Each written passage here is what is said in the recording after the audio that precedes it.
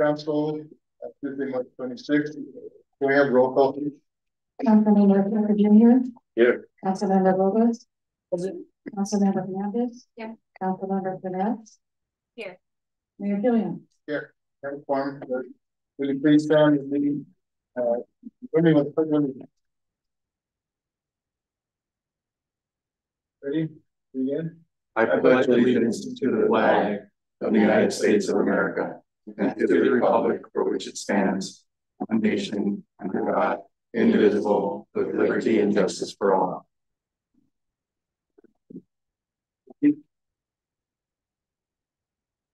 Next item is the item three, is moment of thanks, appreciation or condolences. Start on the left side, anything covered? Anything happening? No. I have a, a couple. One is, uh, condolences to the six individuals that were missing there at the bridge in, in Baltimore. A tragedy. And then uh, also prayers for peace and negotiations in the Middle East. It's been too long and community lives, uh, lost. And the other one is, uh, the Apollo family here in Guadalupe. Uh, they lost their mother, um. I, I know Rudy and a different one, uh, of his family members and services will be next week sometime, so condolences to them. Uh, next item, uh, agenda review. Is there a city council member who wishes to move the order of business that's presented? I'm good. Good. Good, good. Okay. The next item is the ceremonial calendar. And it's proclamation expressing appreciation to Hannah Santos for her services as recreation facility manager in the city of Guadalupe. Uh, it's my pleasure to read this. It's bad, but it's my pleasure anyway. Proclamation expressing appreciation to Hannah Sanchez for her service as recreation services manager of the city of Guadalupe. Whereas Hannah Sanchez was hired as recreation services manager on January tenth, uh, twenty twenty-two and provided professional recreation management to the city, helping generate commitment to continuous improvement to this growing department that will continue well into the future.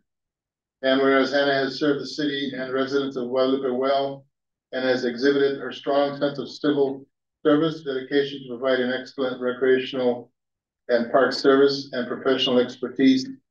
And whereas Hannah has been able to begin upgrades and renovations to all our facilities and parks, including the City Hall auditorium, we were at Park Phase Two, uh, additions and renovations, and has assisted in the planning and design of the new Central Park.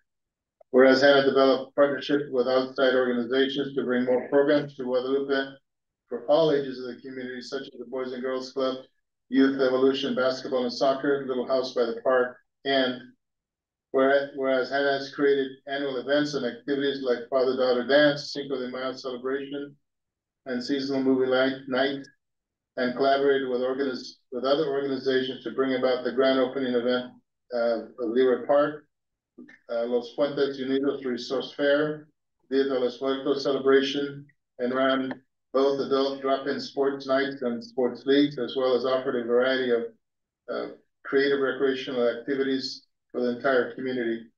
Whereas the city of Guadalupe has benefited from Hannah Sanchez's commitment of time, energy, knowledge, and intelligence in numerous projects, initiatives, and matters in order to grow the recreational opportunities in Guadalupe. Now therefore be resolved by the virtue vested in me as a mayor and on behalf of the city council, city of Guadalupe, I take this opportunity to express sincere appreciation and recognition to Hannah Sanchez for her dedication, commitment, value, contribution to the city, citizens of Guadalupe. Thank you, Hannah. We're gonna miss you.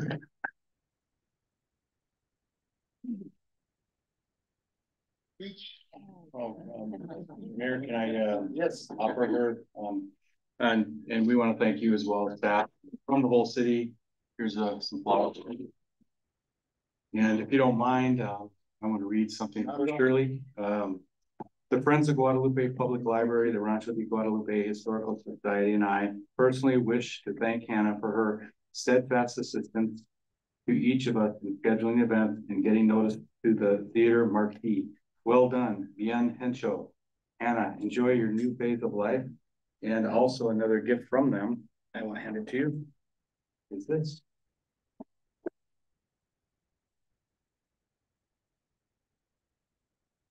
There you go. Piece of Guadalupe with you.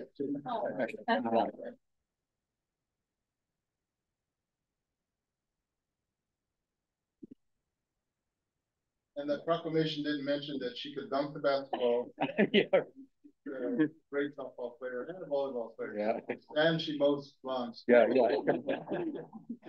Thank you, Hannah, we'll miss you. Thank you. Yeah, thank you. All right, uh, presentation, Guadalupe Ninth Street Bridge mural, twenty twenty-four community project. Who's up? Stephanie?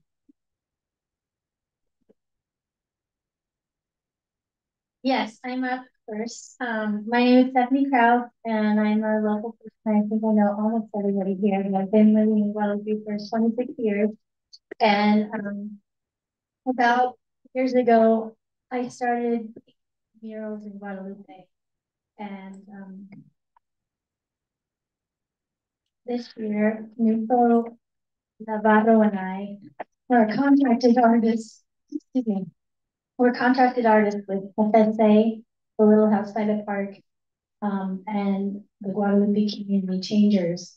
And we have, we're being paid through a grant, um, where um, we're supposed to bring art to the community, um, and also to get art in the community and get the community making art.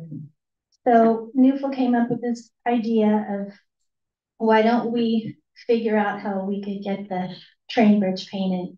And when he said that, I thought, wow, that would be amazing. Uh, especially because on all my walks around town and on my trips out to murals, I would cross the train bridge and I would see graffiti and I'd see graffiti covered up and just wonder, wow, what, what could this be? Um, with the murals that I've already done in, in Guadalupe, I've noticed that when you have a mural, um, for whatever reason, uh, people that might have wanted to face areas that don't have any art, they seem to leave it. Um, on the mural that I worked on with, with um, Gilbert Robles um, on Ninth Street, we noticed that uh, the graffiti people just waited and watched. They waited to see what was going to happen. Um, and when they saw that the wall got painted, left it alone. So the power of art is huge.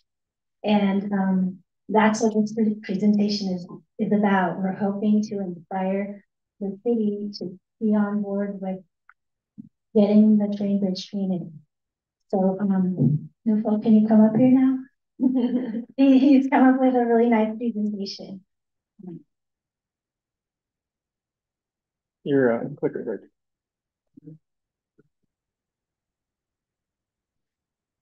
Let's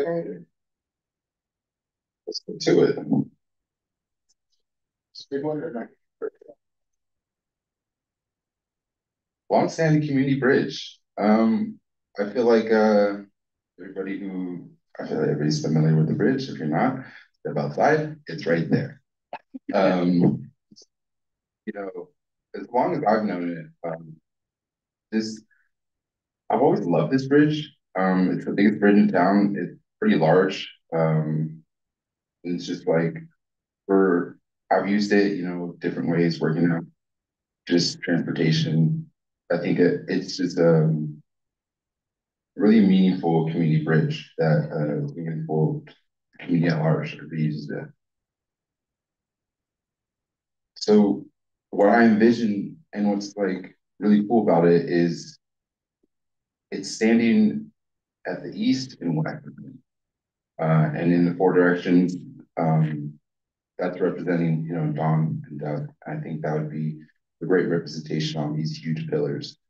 Uh, we have transients coming daily, the Amtrak, and these people have no idea that our city is here. Really, it's, it's a tiny city, but this these images that we'll put up there will be seen, and that would be, you know, they'll recognize that and I'm like, oh, what was that? It was, I think it's, be a huge opportunity for our community to be really on the map on California on this, um, the train, um, just that's why I'm envisioning for the immediate, just for all around, full, um, rising on the east side this.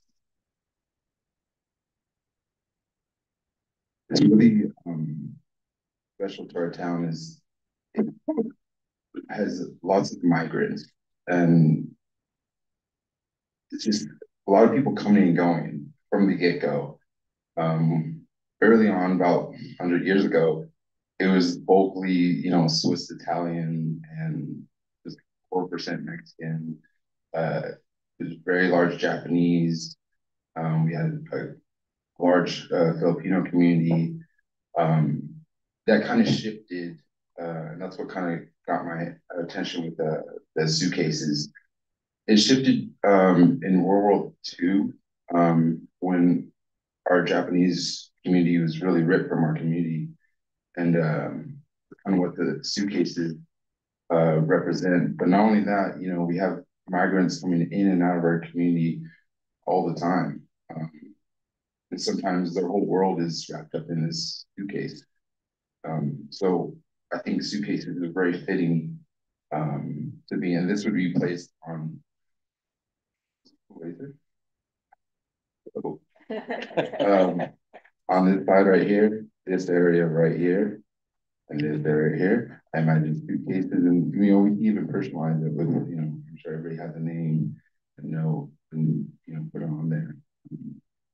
We didn't just get here, you know, one of our ancestors got us here, and the probably bust the butt to get here, even if it, you know, is a little odd, but still somewhere, you know, we're here.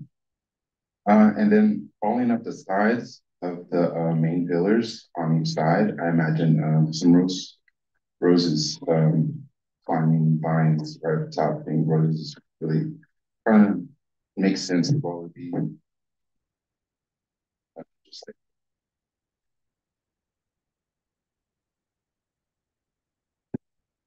business.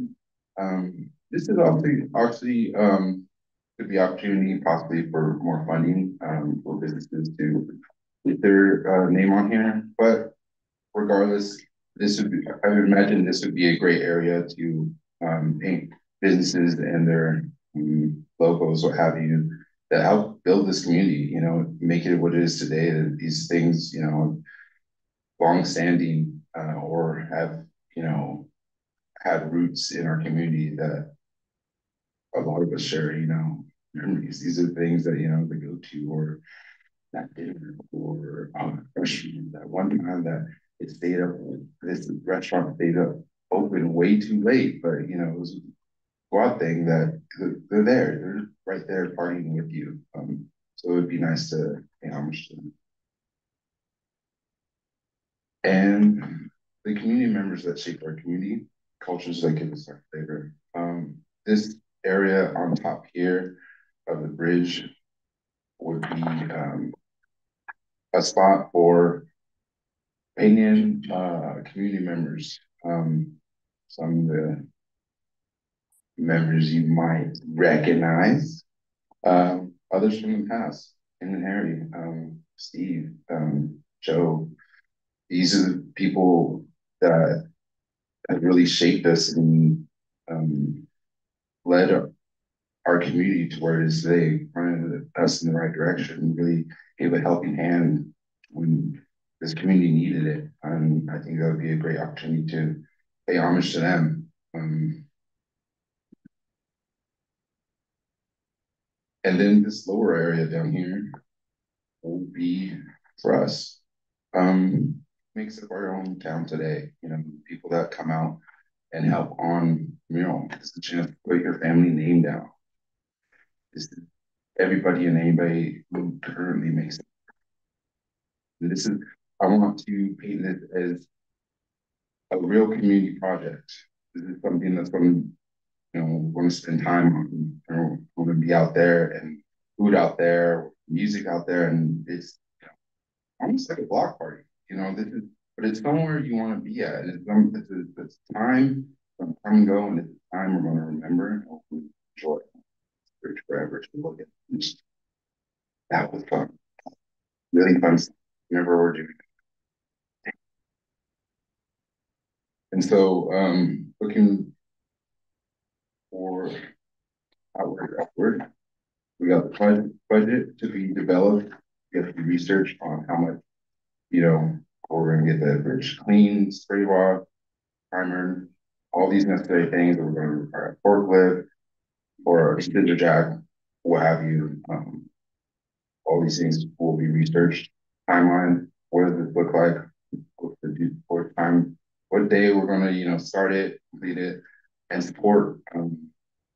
Kind of all hands on deck, just like, kind of just grabbing from the community, community, um, is, is. you know.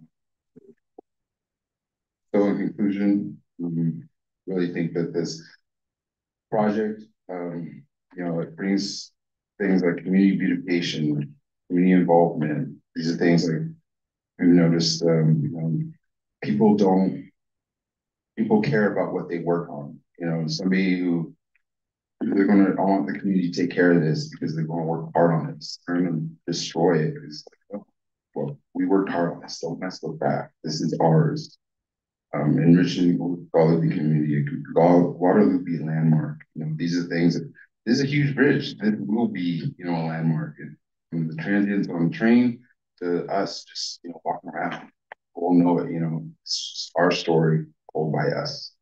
Thank you.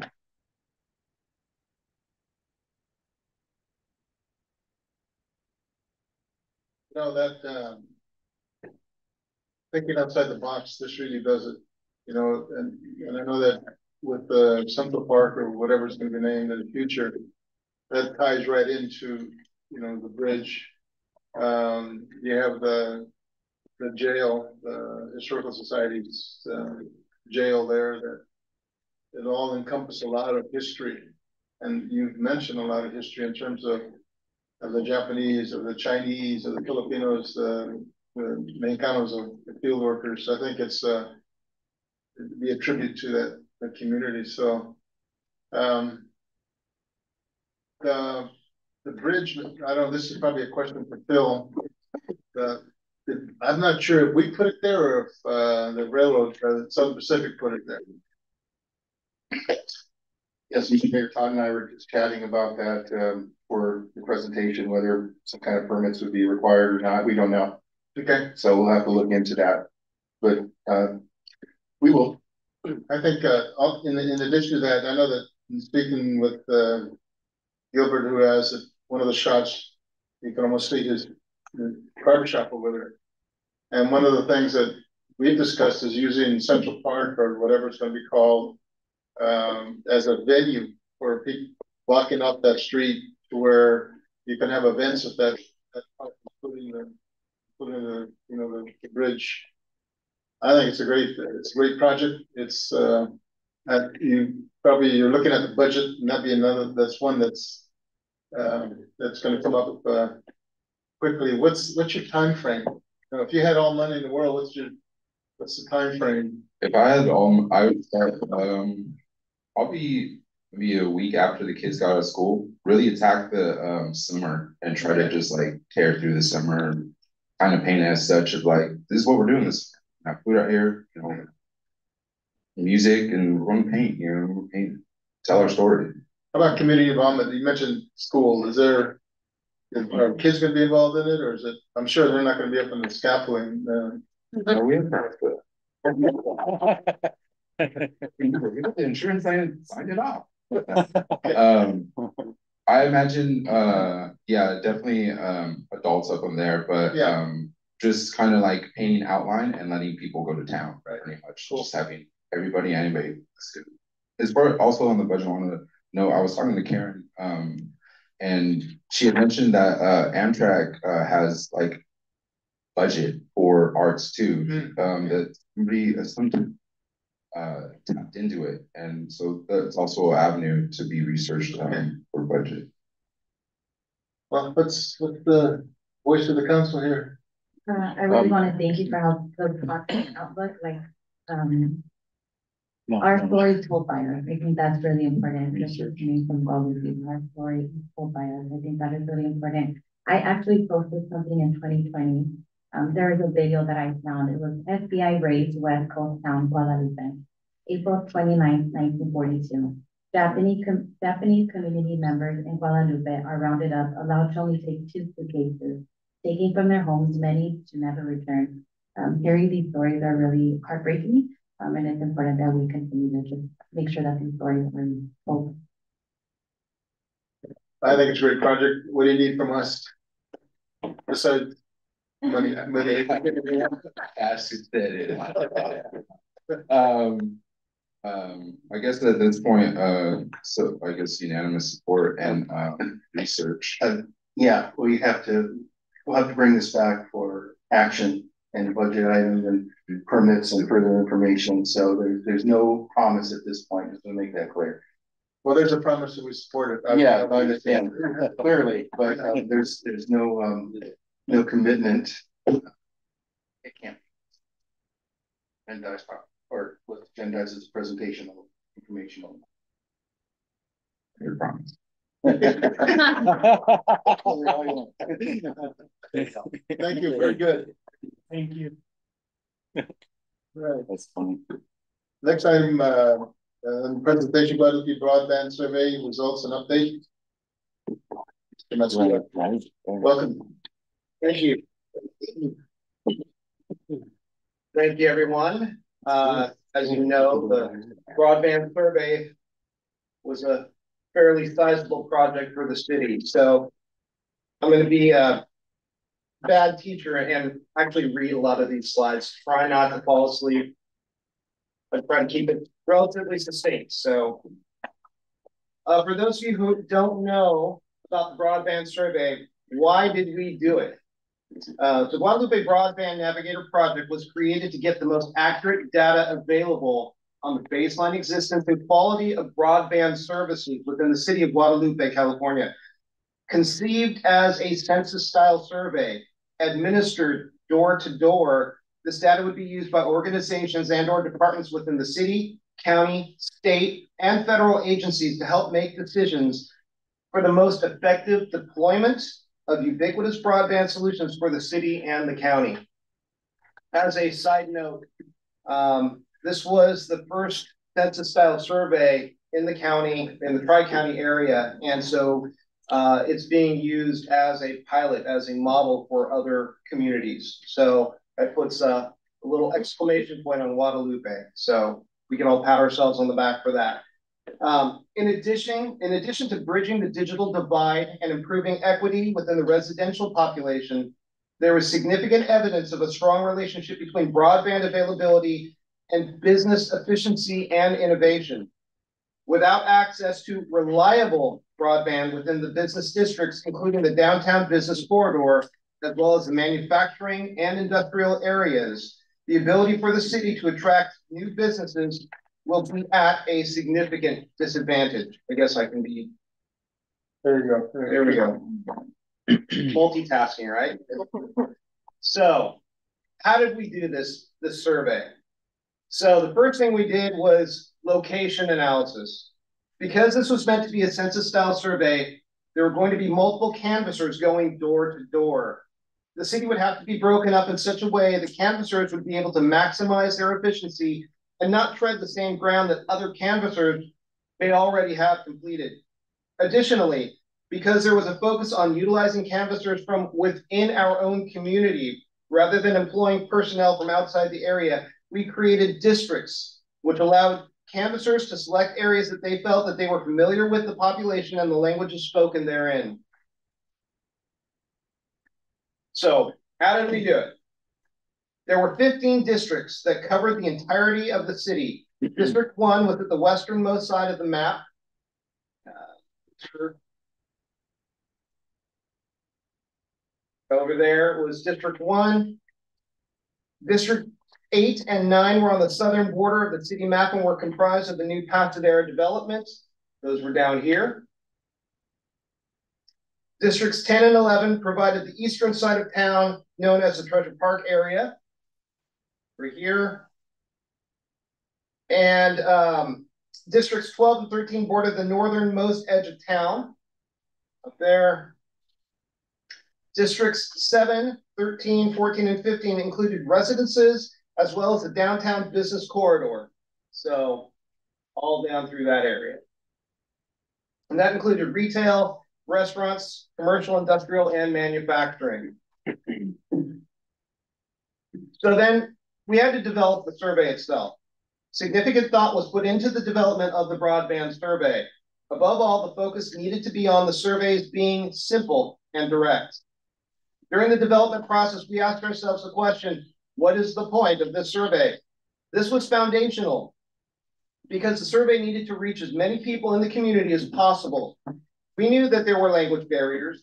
We suspected that there might be cultural barriers as well. This in reference to both racial and age-related culture. To be as inclusive as possible, we felt the surveys needed to be short, to the point, and available in at least English and Spanish. the questions were developed to be easily understood and to focus on the following. One, what's the baseline of internet connectivity from the entire community, not just those that have access to broadband? And to be clear, many surveys that have been done in the community in the past, the, the canvassers or the, the people that generate the survey say, hey, connect to your internet and take the survey.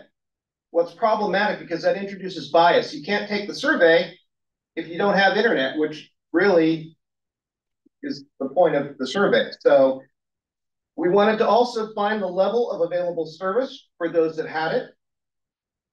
We wanted to get a baseline understanding, a baseline of the understanding when it came to two key industry marketing terms, broadband and fiber. Most of you that have internet here or have gotten marketing materials that they all say broadband, they all say fiber. What was really interesting was how many people had no idea what those terms meant. We've got a lot of people that are paying for stuff. They don't know what they're paying for. Why or why not survey respondents use their internet connection? And if there was community interest in the provisioning of broadband as a public utility. So, recruitment of canvassers. One of the unique features of the Guadalupe Broadband Survey was its focus on utilizing local canvassers to conduct the survey. This was based on the hypothesis that there would be a stronger survey response from an in-person request versus an impersonal postal or online survey. As a result of these efforts, canvassers were either living in Guadalupe or Santa Maria and were former residents of Guadalupe or parts of organizations that were active within the city.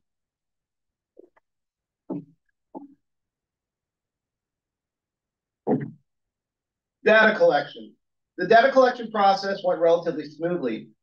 Several web-based resources have charted the success of survey responses. Some of those metrics include 33% is the average response rate for all survey channels, including in-person and digital. Um, a good survey response rate ranges between 5% to 30%. An excellent response rate is 50% or higher. Response rates vary widely for different types of surveys. Customer satisfaction surveys and market research market research surveys often have response rates in the 10 to 30% range. Our survey ended up with nearly 50% response rate. So we were pretty excited about that. So uh, as you can see it with the aggregate survey response rate for Guadalupe was 48.35. Whoops. There we go. Kind of hard to see at the bottom, but it's an orange. So, uh, any questions so far before I continue on? Is there gonna be a test after this? There will not. So at least pretend you're awake. So, you know, what was the point? What were the results? Well, first question, are you connected? The most basic question of connectivity provided a clear indication that broadband was available and used within the city. We had over a thousand respondents. Almost a thousand of you said yes, about a hundred said no. How are you connected? And for those of you that are mathematicians, you will notice that the percentages add up to more than 100%. And this is because people could select more than one answer, just making sure. Um, the majority of respondents connected via Wi-Fi. Just over half of respondents connected via a quote hardwire or wire-based connection. That's like the ethernet cables or, or fiber optic. Much smaller percentages use cellular hotspots, satellite connections, or only use their cell phones to connect. Typically, because the city does not enjoy a wireless network, either through private or public funding, the reality is most people that use Wi-Fi, it should really be about hundred percent, the same, the same number that use hardwired uses Wi-Fi, because you're using Wi-Fi through a hardwired connection. But if you don't understand fully what you're using, then you're not gonna know that. So, um, the vast majority of people, again, it's the comfort and, and familiarity with the phrase, oh, Wi-Fi. I know that, I use that. And so that's what they said. All right, speed and reliability satisfaction. This, this one's interesting. The majority of residents connected via Wi-Fi, just over half the respondents connected with hard, uh, hardwire, already said all that. So, does your connection speed meet your needs? Well, seventy-seven percent of the respondents said yes. Of, of those who were connected. Um, only twenty-two percent said no. One percent said sometimes.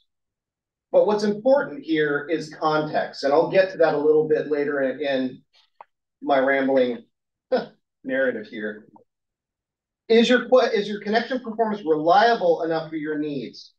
Again, roughly the same amount, about 74% said yes, it's reliable enough. About 24% said no, and back to that 1% said sometimes. So on the surface, it sounds like by and large, the community for the amount of complaining I think we all hear on the street, most people seem to be satisfied with speed and reliability. At least that's what the data says. But as I said, context matters. And we will get to that. But first, we're going to talk about who do you use? Spectrum accounted for nearly 91% of survey of service of survey respondents the largest competitor was Frontier, and they accounted for less than 6% of the respondents' market share. So really, Charter Spectrum is the behemoth in the community. And then we asked people, well, why? Why do you connect to the internet? So this was interesting. The top reason for usage was entertainment maybe it wasn't surprising, but it was interesting that people actually said, yeah, this is what I'm connecting for. 75% of the respondents cited that that was a reason for using connectivity. Shopping and working from home were nearly equal at 55 to 56%. Gaming and healthcare were the next tier at 47 and 45% respectively. Other was cited by about 10% of respondents and reasons included business transactions like point of sale systems, um, social media, and online banking. So we asked the question, do you understand? So what are, what are we even talking about? What is interesting is that over half the survey respondents that are currently connected to the internet don't understand the basic terms of broadband or fiber, even though they are dominant keywords that is used in industry marketing materials. It is not surprising that the corresponding numbers increase for those that are not connected.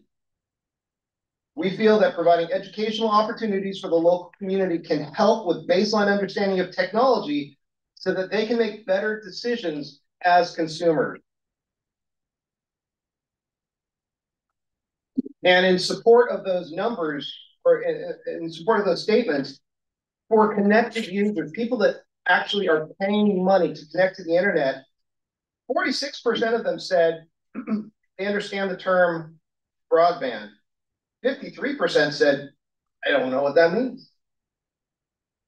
Do you understand the term fiber as it relates to the internet?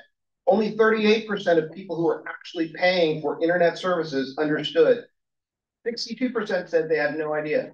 They did not understand. Not surprisingly, non-connected users you had 21% that said they understood broadband, 79% said they didn't. 20% said they understood fiber, 80% said they didn't. So, final question, really, um. Almost the final question was.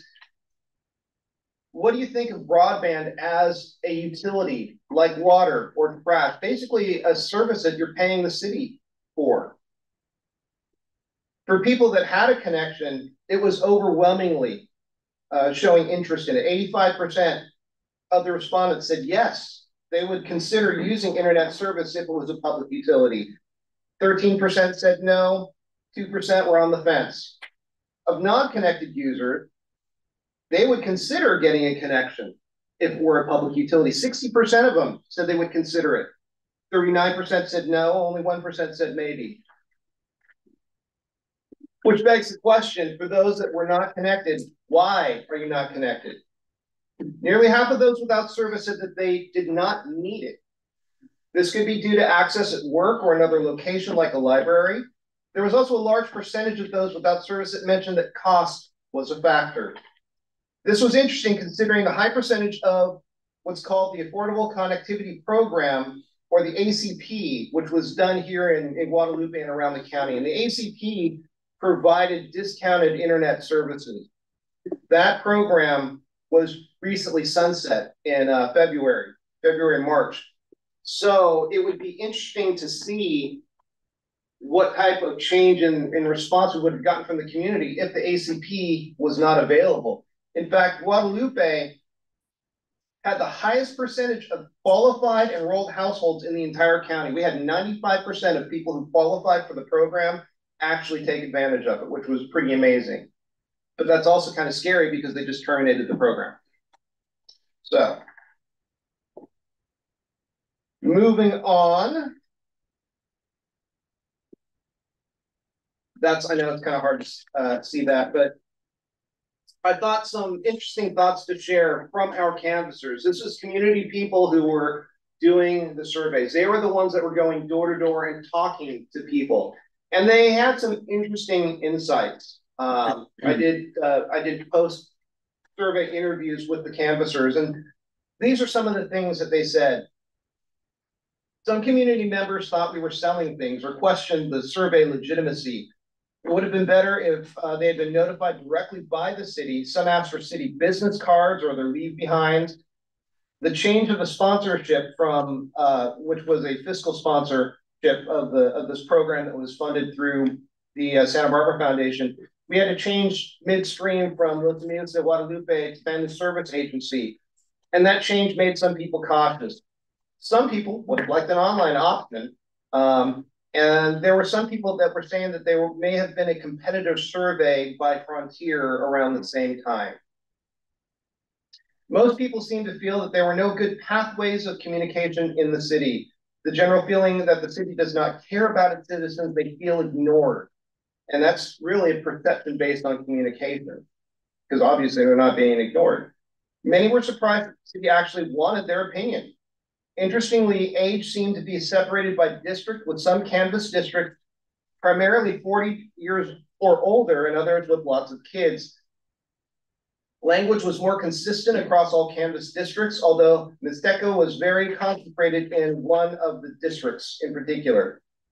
Lots of people think a change would be a good thing for the residents because Charter Spectrum is a monopoly. Competition would provide better costs or services. Internet is a necessary thing for medical and online build and education. And it is very, it is a very important thing to address. And again, I'm, I'm, these are quotes. I'm not espousing my opinions here. Um, Hearing things like the need for more lighting for kids and other safety improvements more than once, it seems that the city needs a better way to communicate more broadly with its citizens. More information in more languages, more transparency with budgets and how money is used because there is distrust in where publicized money goes. This could be done with more information in the water bills. It's a great opportunity for Guadalupe. Many support the possibility of having it be invoiced with and like utilities. So this was, it was interesting to get this kind of feedback from people talking to the community. Um, things like the lighting, I heard from more than one person. Uh, they would they would take the survey and say, "Hey, what here? What can we do about the lights over here?" The canvassers were like, "I don't know. I better do a survey." So it was interesting that once people felt that there was a connection, they really reached out. And there was, there was more than one instance where we had a canvasser go to a door and a person would say, ah, you know, I don't really want to do this. Wait a second. I know you from church. I know you from this group. I know you from the neighborhood. You know, okay, I'll do it. I'll take the survey. So we found that that was that was really a a good call, and we were, we were happy that we went that direction. So let me jump back to that case study. Remember context. So at the end of November 2023, we were notified that the state had received an official objection from Charter Spectrum related to the Rural Middle Mile Network project by Golden State Connect Authority, GSCA. So the GSCA is a joint powers authority comprised of 40 rural California counties designed for the purpose of increasing access to reliable, affordable, high-speed internet for the residents and businesses of those counties. Basically, the GSCA is an organization, a joint powers authority that was going to be responsible for putting in a middle mile broadband network, a middle mile fiber network for rural and underserved communities, of which Guadalupe was identified. Charter Spectrum gave an official objection to that, basically because, quote, information demonstrates that Charter can provide broadband service in the project area with service far exceeding the minimum speed threshold set forth in the FFA program guidelines. Meaning we already do it, we do it really well. We don't want competition here. So out of the 922 question respondents for that, we received the following information. Almost 75% said their connection speeds were met. Uh, the, their connection speed needs were met. 25% said, yeah, they were not met. And uh, a little over 2% said connection speed was met sometimes. Reliability, 70% needs were met, 31%, almost 32% said they were not met. Almost 2% said the reliability needs were met sometimes. But again, I keep saying the word context. While those numbers out of context paint a picture that supports Spectrum's objection that they already adequately service the area, the deeper dive into the survey responses paints a slightly different picture. Eight out of 15 districts had 30% or more respondents complain that connection speed did not meet their needs. 10 out of 15 districts had 30% or more respondents complain that reliability did not meet their needs. And you can see by this map, it's probably easier for you in printed copies. But this map has little thumbtacks that show this dissatisfaction and reliability dissatisfaction.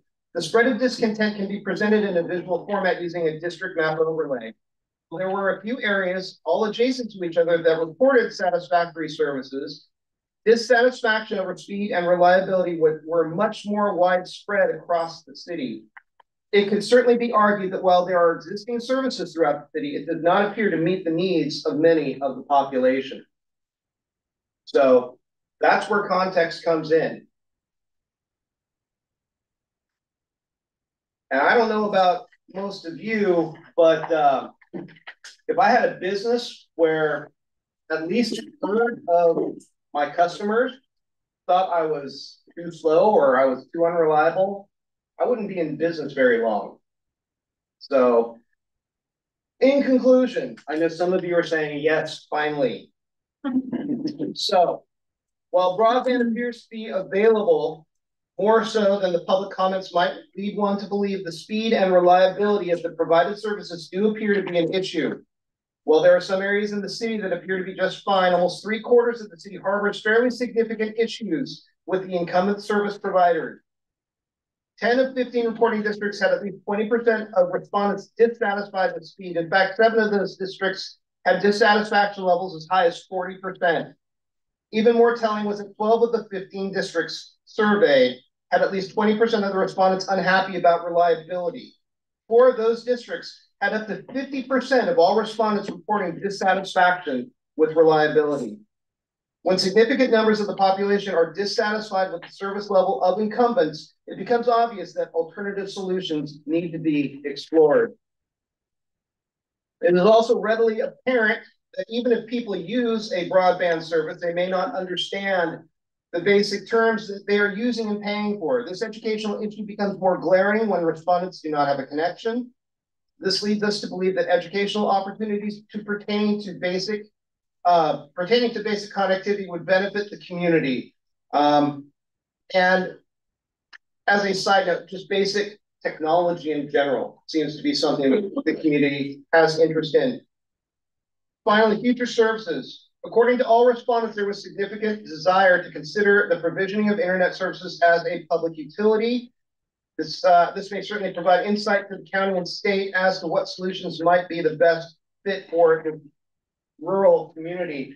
And as means of an update, um, so knowing that the, the, the city's current resources could not fund uh, a four or five person staff and the build out of a of an ISP, an internet service provider, the city would have to look at working with other communities or other organizations um, within the county to provide said services. Uh, we have been in touch with SBCAG and there are two models there. Oh, there's more than two models, but two uh, models in particular that we've talked about. And both of them, one is based out of Ammon, Idaho, one is based out of uh, uh, Utah. They're models. We're not talking about using their services. But what these models do is they essentially create a network, a fiber network throughout the community. And then these fiber lines, the high capacity internet communication lines are leased out to companies. This provides an opportunity for competition. In places like, like Utah or Idaho, where they have these types of, of businesses in place, most of you here that are paying full pop for basic internet service through Charter Spectrum are probably paying between 100 to $150 a month ballpark. That's if you're not bundling with phone or TV plans. And for that, you get about 100 megs down and maybe 15 megabytes upload speed. So your download speed's faster than your upload speed, but you're about 100 to 15. That's your ratio. And so you're paying, like I said, between 100 to 150 bucks a month. In places like Ammon, Idaho, or places in Utah that utilize Utopia networks, the competition has allowed for pricing to have 10 times the download speed, a thousand megs down and a thousand megs up for as low as 50 bucks a month. That's huge. That's a game changer, not just for people in the community. That's a game changer for businesses. That kind of thing that can revitalize manufacturing, it can revitalize industrial. It can it can revitalize retail. That's the kind of thinking that hopefully SBCAG will be able to, to leverage into decision making at the at the county level. So that said, just I want to take a, a quick second to say, say some thank yous. Um, so I'd like to extend my thanks to the Santa Barbara Foundation to make the survey a reality. Also thanks to Los Amigos de Guadalupe, the Broadband Consortium Pacific Coast, the Guadalupe Business Association, the Guadalupe Coalition of Nonprofits, obviously the City of Guadalupe, and other organizations who helped share the information about the survey and to make it possible. A special thank you to the Family Service Agency who stepped into fiscal agency partway through and allowed us to cross the finish line. And the following individuals also deserve to be singled out for their assistance throughout the process.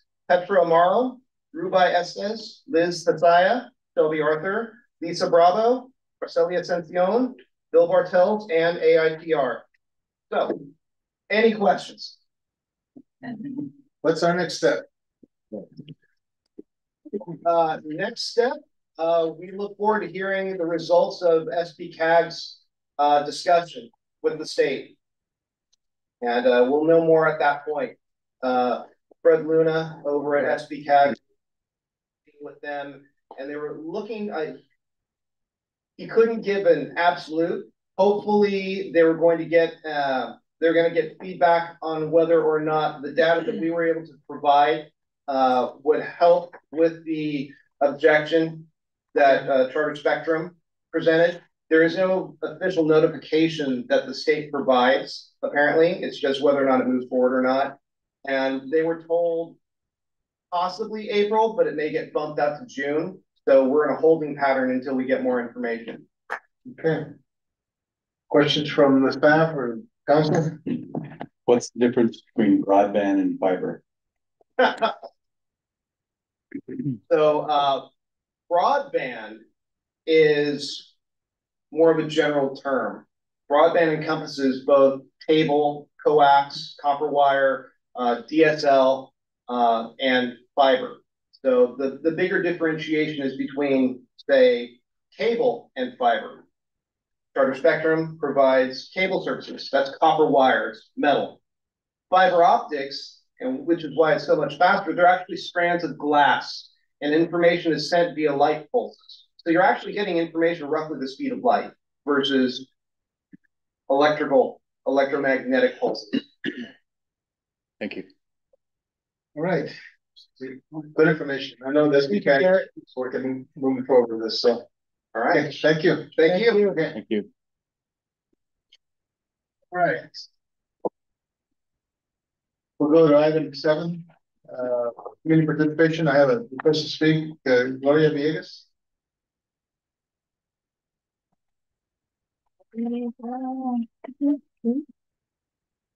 Hi, my name is Gloria Villegas, Outreach Coordinator at the Guadalupe Dunes. I'm here today to make some announcements on some events, community events that we will um, have approaching. One being this weekend, which is uh, Coastal Stories. And it is a multicultural event that will be held at the Red Barn, right behind the Cultural Center next to the Guadalupe Dunes. Uh, this will be held at eleven thirty to three thirty. It's gonna be a really awesome event. Um, we will have, um, a presentation, um, specifically directed towards like multicultural celebrations and traditions, including, um, a segment on like Native Americans. They'll be doing their like drumming tradition and a little description and introduction in um, the importance and how they use that to celebrate. Uh, we will also be doing um, a portion on the Hispanic community, have some dancers there. They will also have a little introduction. So we, we're really trying to kind of tell a story through that presentation, which will ultimately um, be exactly what we are creating in our mini documentary to capture the voices of the community and um, really, really uh, call for the, the stories um, in the community of all the different cultures that have made it what it is today. And um, we actually have um, some amazing people on our team and uh, they've created a AV booth. So what it is, is basically like a photo booth, but it'll have a recording system available and um, people can come in or they can actually like schedule a time where they would like to record. And these stories, they can be um, any story, but um, what we've described it to be is kind of like um, the stories that your grandma would tell you that you cannot find on Google, right? Those are the stories that bring that uh, richness, that depth. And uh, we'll have, we have Don Charlie who's going to be doing tacos and um, beans, rice, all the good stuff. And the Lions Club will be doing burgers and hot dogs and we'll have activities available for the kids. And this is the first of uh, two big uh, community events that we'll be hosting for this specific project. And uh, also further uh, than this community event, it will be um, a, a citywide um, opportunity to really emphasize the importance of the dunes and how important it is to the community and um, really tell that story. So we invite you, I will have flyers out in the, we, we welcome you, your family, your friends, anyone you know who um, would like to get involved, who you think should be interviewed. Uh, we, we definitely have some key players already scheduled for interviews, but we welcome everyone in the community to come on by, um, enjoy some food, enjoy some entertainment, and um, tell your story. So hope to see you there. Uh, Saturday, the Red Barn behind the Cultural Center, right next to the Dune Center, is where it will be held. And um, there may be some rain projected, so just an FYI, it is indoors, so you'll have coverage and will be set. Um, I would also like to just announce uh, for next month, we will be doing a coastal cleanup. Uh, so excited that the Guadalupe Beach is now open. So we are planning uh, to do a coastal cleanup in partnership with a Earth Day. So we'll kind of combine it, have some vendors out there and some other organizations within the same niche, uh, partnering to have uh, activities and information booths available while doing um, a, an actual coastal cleanup. It actually looks clean. It's so beautiful. Everyone, I'm sure, is really excited about that. so, um, yeah, that's what I have today. It's mainly just announcements. Uh, a lot of great things happening. Everyone's super excited. We got the beach open, and it seems to be the reoccurring theme today. Uh, just you know, hearing the voices of the community and telling the stories, and that's exactly um, you know what this project is all about, coastal stories. So we hope to see you there. Um, please get the word out. We'd love to, um, yeah, hang out with you. So. Thank you. Any questions? Thank you. We're good, thank you. We'll go ahead on item eight. I see no more, no more uh, requests to speak. Uh, item eight consent calendar. Is that- Oh, I'm, I had one more. okay.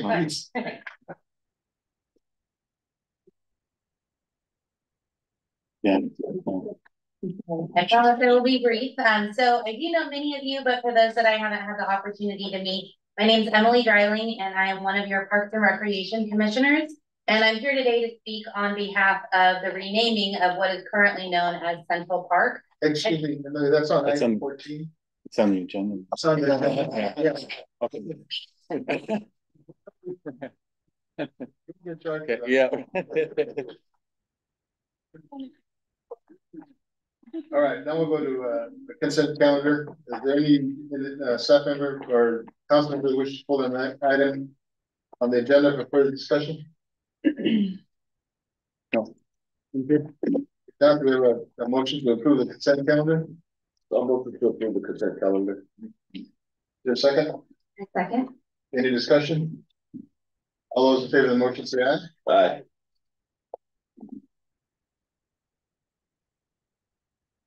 Go to management reports, uh, city administrator report. Thank you, Mayor and Council, staff, public at large. Um, now that um, Hannah is departing, we have a new um, Recreation Services Manager here, sitting here today. Um, her name is Anise Barajas, and I probably botched that. Uh, And I always do.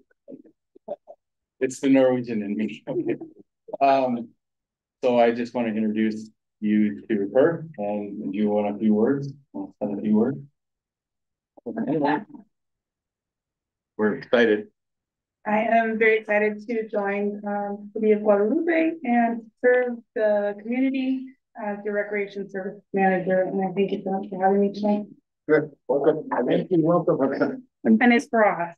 For us, everyone else, man, all right, no problem. Justin, uh, Yeah, right. Um, also, mayor and council, um, just a reminder that on Saturday, June eighth, the the mayor's aware of this and he's gonna be jogging that day on June eighth. It's called the Peace Run.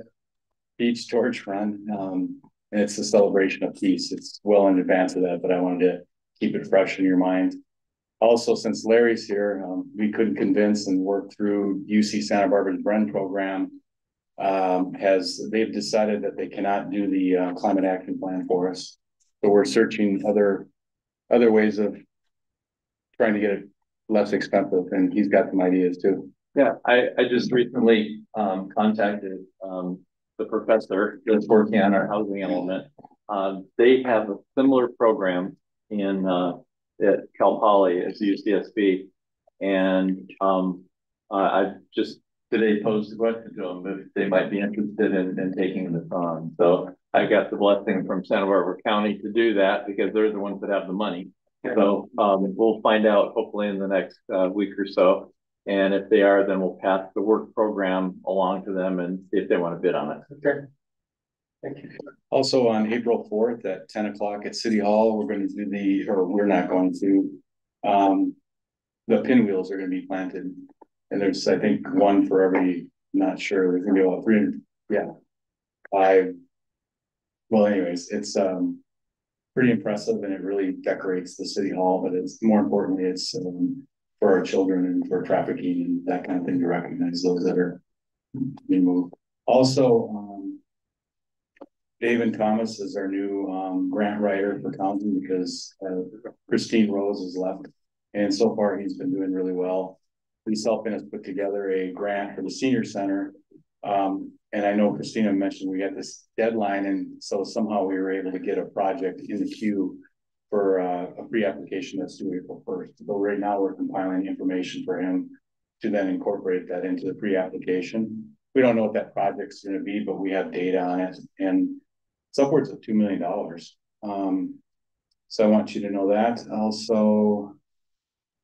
April sixteenth from twelve to six here in the chambers, APCD. Um, will be providing and giving out um replacement air filters. It's a giveaway. So just be aware of that. There, I think there's a flyer that's gonna go on the utility bill. Um, also, I found out today that we got an extension on Central Park for the deadline for the construction of the project. And that's, it goes through uh twenty twenty-eight. Hopefully we can get on it quicker than that, but it's nice to just have that flexibility. Twenty twenty-eight. And that uh concludes my report. Questions, any comments, right? I have a comment, I think, for the pinwheels for awareness, thank you, in Guadalupe. Um, they will be planting three hundred and ninety-five pinwheels. These numbers represent one in five child abuse investigations in the Santa Maria region since twenty twenty-three. I knew you were gonna clarify that. Thank you. Thank you. Thank you. All right, so any questions or thought? Okay, we'll go on to uh Director of Public Safety, Chief Cash. Thank you, Mr. Mayor, uh, council, staff, and our community. Uh, first and foremost, um, I'd like to show appreciation to our artists here. Um, I've seen his work, it's, it's outstanding. And one thing I can tell you, murals that we do have around town, it does decrease our graffiti. And we see that bridge all the time. I understand the legal aspect of it, but man, uh, that would be a, an awesome project. So uh, thank you for kind of bringing that forward. Really appreciate that. Um, the other part is uh, right now, uh, public safety is working uh, a couple of long-term code compliance issues um, dealing with homes. Um, and we're, uh, we'll be eventually presenting our, our information to our city attorney. Um, we're looking at problematic homes that we keep going back to. Um, there's provisions to be charging for police services uh, if it becomes incumbent on us on, on regular type of um, call. These are uh, some long-term cases that we're working, um, and so it's um, we'll we'll put more information out in the future, but uh, it's just just something to kind of be aware of. And the last part, um, I'm um, very honored to to be able to put out today that um, on Wednesday, April 3rd, um, at the Guadalupe Social Club, um, the city will be uh, presenting an Exceptional Public Service Award to Mr. Kevin Costner. So um, he's agreed to come to Guadalupe. He's pretty excited with that aspect. Um, and so we'll we'll have that. Uh, the staff has done an amazing job. Park and Rec and everybody else here. I mean, they're stepped up and admin and and uh, you know we appreciate the guidance that we've had from uh, from some of our council. Uh, but to make this happen is huge, and just the comments that he stated when um, I I am not the historian of this city, but I just was able to say a few movies that were here. And first comments he goes, maybe that's a location for a movie. I'm like, wow, okay, this can work out pretty nice. So that's, uh, that was a nice coup and I appreciate staff who have just been bent over backwards and our community, uh, who they're putting out and donating services and time to be able to make this happen. So this is pretty exciting. And uh, we will talk more about this as, as we kind of go further along, um, as we put, put the finishing touches on that. So Can you explain why you, why he's getting the Yeah, Yeah. accolades? Yes. Um, this goes back to, um, last year, twenty twenty-three, where we had the flooding here in Guadalupe and we had over fifty residents, um, that were forced out of their homes.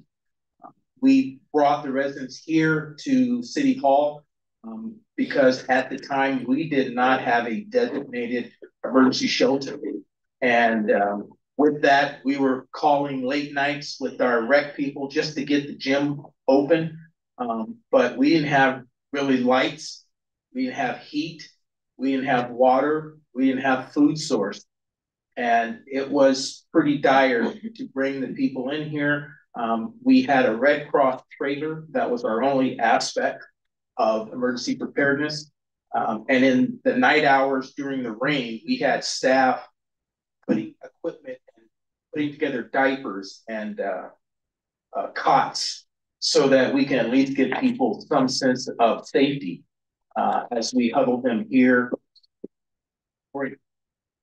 With that, we, we brought that information to uh, One805, which is a group that was gathered down in San, San, Santa Barbara area after they had their floods and fires and mudslides.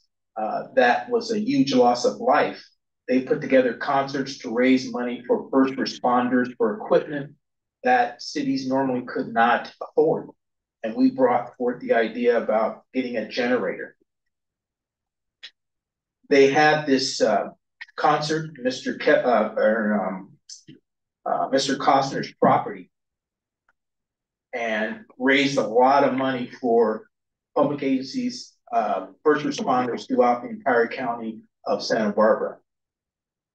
We put in and asked for grant money, and we were granted uh, at least fifty thousand dollars for a generator. And then the city council kicked in the other. So we'll be getting an eighty thousand dollar generator that will house here at City Hall that will be able to uh, provide for the entire building. And now we can really have an evacuation center.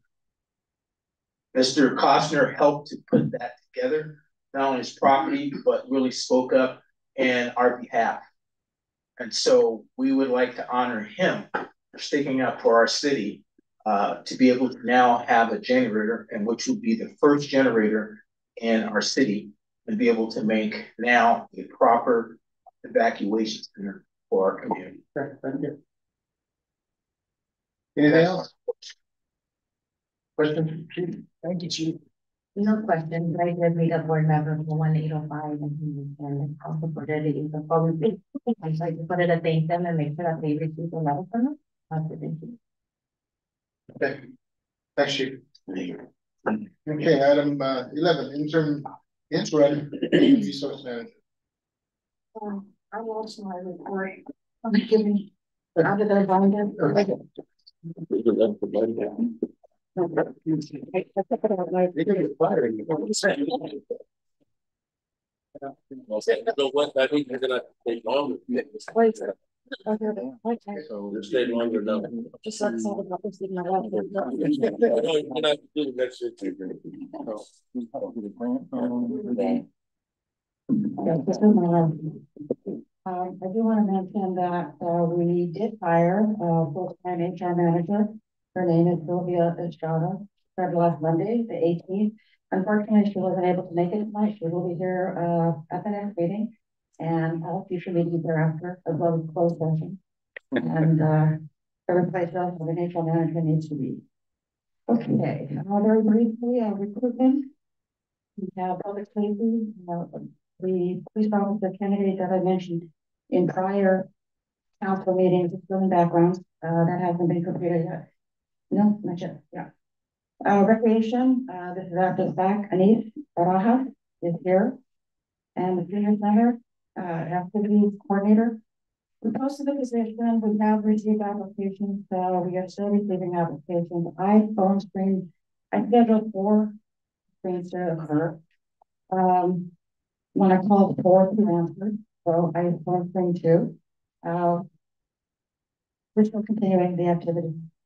And, um, Sylvia Charles is taking that over, uh, quite nicely. In HR, I said she, uh, started last uh, Monday and, and is doing quite well. Uh, we're, we're very pleased. In Public Works, uh, the Public Works Director. Position was posted, uh, recruitment continues on that. Maintenance worker one, uh, we have selected a candidate and, all processes actually have been completed. And he will be starting on April second. The new position, that was approved last council meeting, grants administrator, that has been, posted. Starting recruitment on that, and yesterday, uh, Sylvia already received, uh, resumes. And, uh, I did ask, I hadn't seen the resumes, if any, anyone, any of them looked uh, viable, she said, yeah, we were pleased with that. Labor, labor relation, and the, uh, negotiations with fire were ongoing. Workers' comp, there was one injury, um, and two long-term outstanding claims that are still being monitored. Uh, the one injury was simply a first aid, nothing- serious at all. Miscellaneous continuing, uh, to update the HR file, they will be completely updated in uh, the matter of weeks. Uh, and one critical thing I wanted to mention, hasn't been, um, scheduled yet, but one of the first training sessions that, uh, I suggested that Sylvia coordinate with JPIA is preventing discrimination and harassment in the workplace. That hasn't been scheduled in quite some time. Uh, we're obligated to do so every two years. And I do know we're behind on that. So that is one of the things that uh, we will, um, put this schedule soon. It will be on site, uh, as opposed to, the um, online type of training. It's far better with this stuff. we can put in place. That is my last HR. Are you sure about that? Any questions? Joe? Thank you, Rudy. Can we just do one more? One more meeting? Next item is public hearing, uh, consider amendments to the subdivision ordinance title seventeen. Section seventeen point three two point zero three zero. Guadalupe Municipal Code. Larry. Thank you, Mr. Mayor, council members, good evening. Staff is bringing an ordinance amendment this evening to fix a problem with our subdivision ordinance, which is chapter seventeen of the Guadalupe Municipal Code. Over the years, you've seen staff bring a number of ordinance amendments for the zoning ordinance, but this is the first time we've done it for the subdivision ordinance, and it's um, about fifty years old now, and so it really does need work. But, um, while we plan to do a major update, uh, later this year, um, we felt it was necessary to do this evening because we do have a map that is being processed and I can't record because it's inconsistent with the, with our ordinance. Um, the previous ordinance, as you can see from the staff report, showed that you had to have a minimum sixty foot wide um, or a six thousand square foot lot minimum with a sixty foot, uh, frontage. Um, because of a number of changes that have occurred either through our general plan update or through state regulation. Um, we had to make changes to those. And so uh, the, the request we put in is that you would allow for the minimum lot size to be thirty-six hundred and thirty square feet, which is consistent with the uh, one to twelve units per acre for the R one zoning, which was approved in the in the general plan update and then also um, through the consistency rezone. So we've prepared ordinance number twenty twenty-four five seventeen to implement the project. Tonight's the first reading. We, if it goes forward, then we would continue this to April 9th for the second reading, and then thirty days after that, it could go into effect. The applicant's project be able to be um, recorded. So that's what we're asking. Can't see the clock, is it seven fifteen? Yeah. Okay, at seven fifteen, we'll open this up to public, uh, comment, public, it's a public hearing. Is there anyone in the audience that wishes to speak on this, on this matter?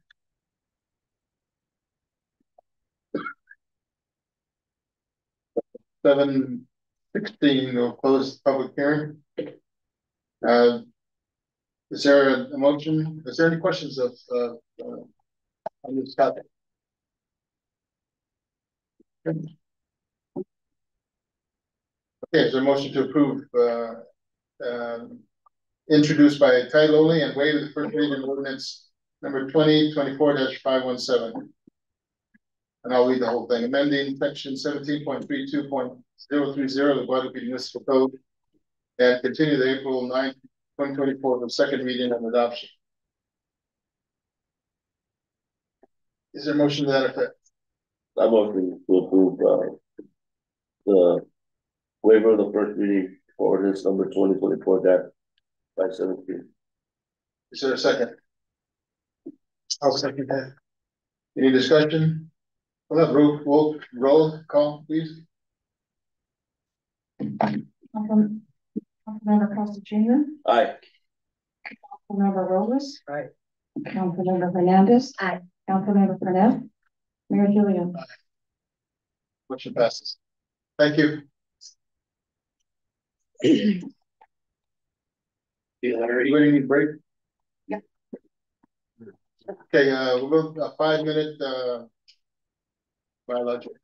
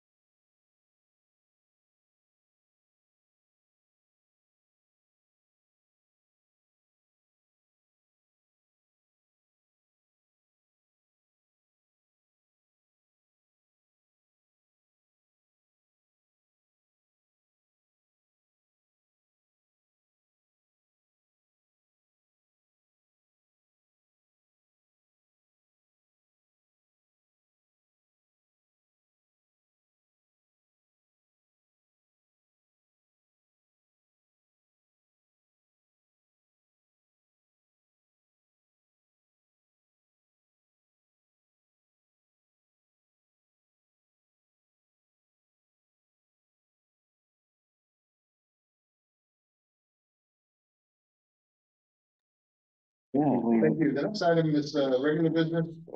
Uh, item thirteen, approving hiring a bond financial team for the Guadalupe Royal Theater renovation project. Mr. Bodem. Okay, thank you, Mayor, Council, uh, staff and community at large.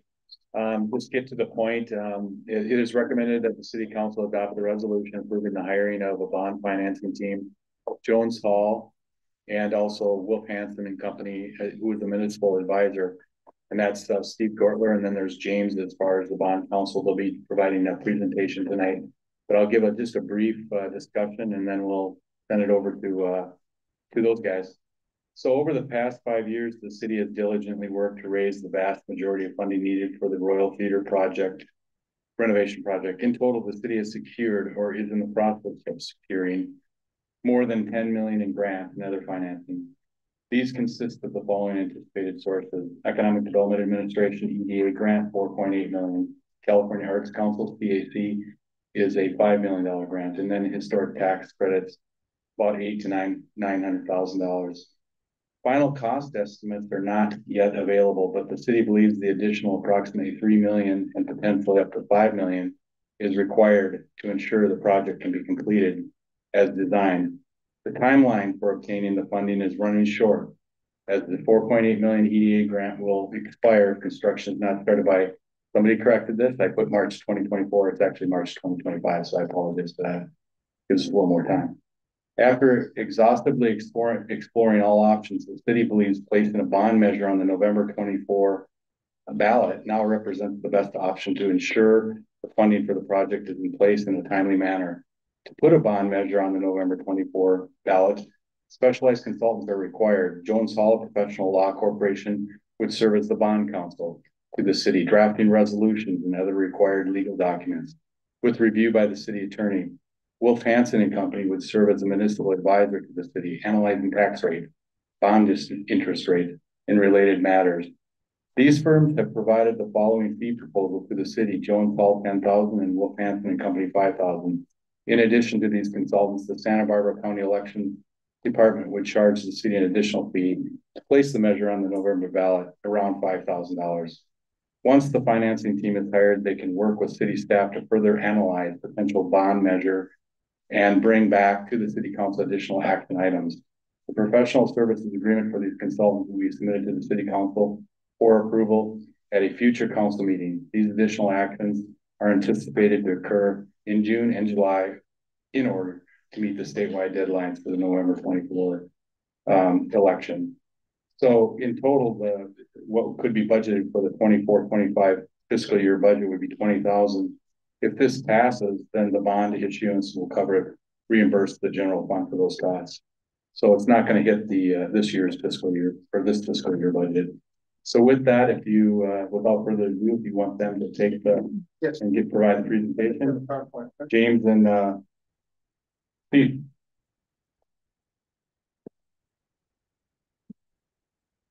Good evening, gentlemen. Good evening, hi, um, you guys doing okay? Yeah, um, I'm Steve, this is Jane, as, um, as, uh, I mentioned, I'm a financial consultant, an attorney, we provide the various services related to these types of project financings.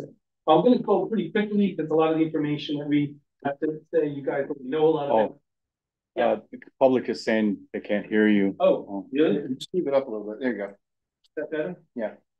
Okay. Yeah. Is that better? Oh. Is that better? Yes. All right, so, uh, I'm not gonna repeat what I said, but we'll just keep going. Um, if you could skip ahead another.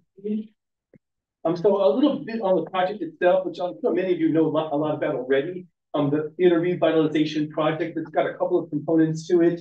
A renovation of the existing theater. As you know, I'm sure it's shuttered, it's boarded up right now in disuse. Um, the theater itself, a five thousand square foot, two hundred and thirty seat theater will be completely renovated. And I've seen, you know, what's supposed to look like quite beautiful when it's done. In addition, some new facilities will be constructed. Um, a state-of-the-art performing arts center for hosting live stage productions, live musical events, community events, um, educational and cultural programs for children in schools in, in the city as well. in addition, additional facilities, green room, classrooms, meeting spaces, and so forth. It's really envisioned as a, um, as a beautiful project, very large, very broad in scope. Um, I think it's going to provide an enormous amount of, of um, opportunities for recreation and culture in the city. In addition to, um, it's, it's obviously located in a very strategic location um, down, down the street.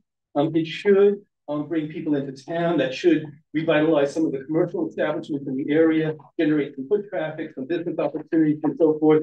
So it's got a lot of value, a lot of um, benefits. It, it, it should really be a, a bright uh, star for the downtown. Our next page. Um, on the financial aspect of it, um, as Todd mentioned, and this is really worth emphasizing, the project costs are still being finalized, but it's estimated that it'll cost somewhere between, say, 10, uh, maybe 12 and 14 million dollars.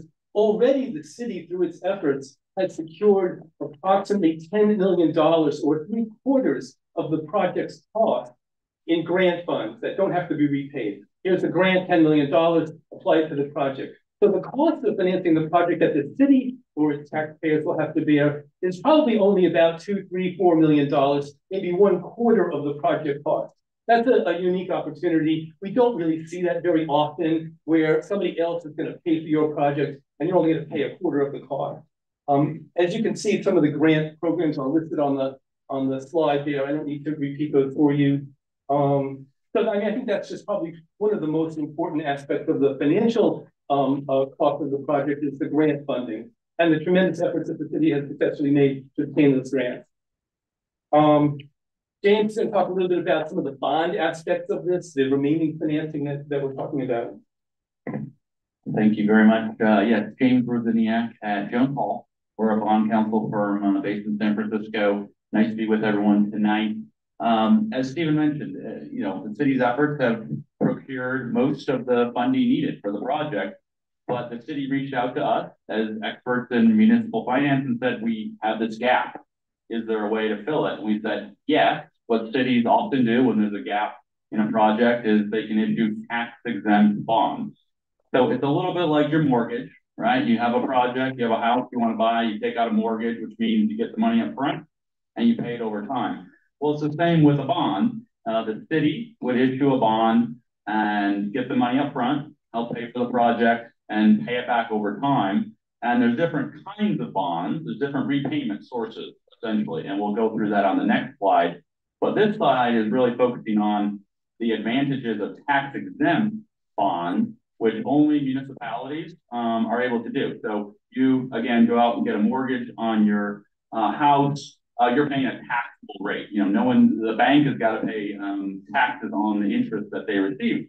But an investor in a city bond does not pay taxes on that bond, which means they're willing to give you a lower interest rate because it's a better economic benefit. And that's just a benefit for local agencies like cities that essentially the federal government, the Congress has provided tax exemption for local agencies like City of Guadalupe to fund capital projects. The whole point is to allow lower cost financing of capital projects by cities. So um, that's where we come in. We specialize in tax exempt bond financing, making sure it's legal, making sure that it fits within the tax exemption rules so that you, you as a city could issue that lower interest rate, you know, the lowest possible cost of borrowing. As it says on the slide, um, you know, generally cities, municipalities are pretty good credit. Um, the interest rates are relatively low because they're pretty stable. You know, local government is pretty stable, uh, more uh, credit worthy than just an average person um, seeking a loan. And then repayment term, typically 25 to 30 years. So again, it's kind of similar to your mortgage. Get that money up front, pay it back uh, annually over 25 or 30 years. Next slide. Uh, as I mentioned, there's multiple different kinds of tax exempt bonds that cities, like the city of Guadalupe, could uh, undertake. Uh, the one we're going to focus on tonight is the general obligation bond. Um, school districts are also able to do general obligation bonds. School districts here in the community have successfully gone to the voters, gotten passage of general obligation and financed their public school facilities. So it's something that's familiar in the community, uh, and and cities are able to do it as well. Um, special tax bonds, parcel tax bonds, sales tax bonds, as the name implies, it's kind of what's the source of repayment?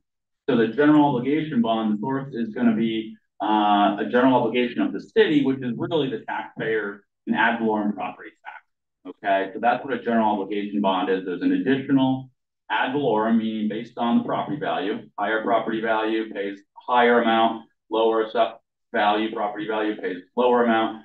Uh, that's the general obligation bond versus a parcel tax can be just a flat, you know, tax for parcel. Sales tax would of course be based on sales taxes generated in the city.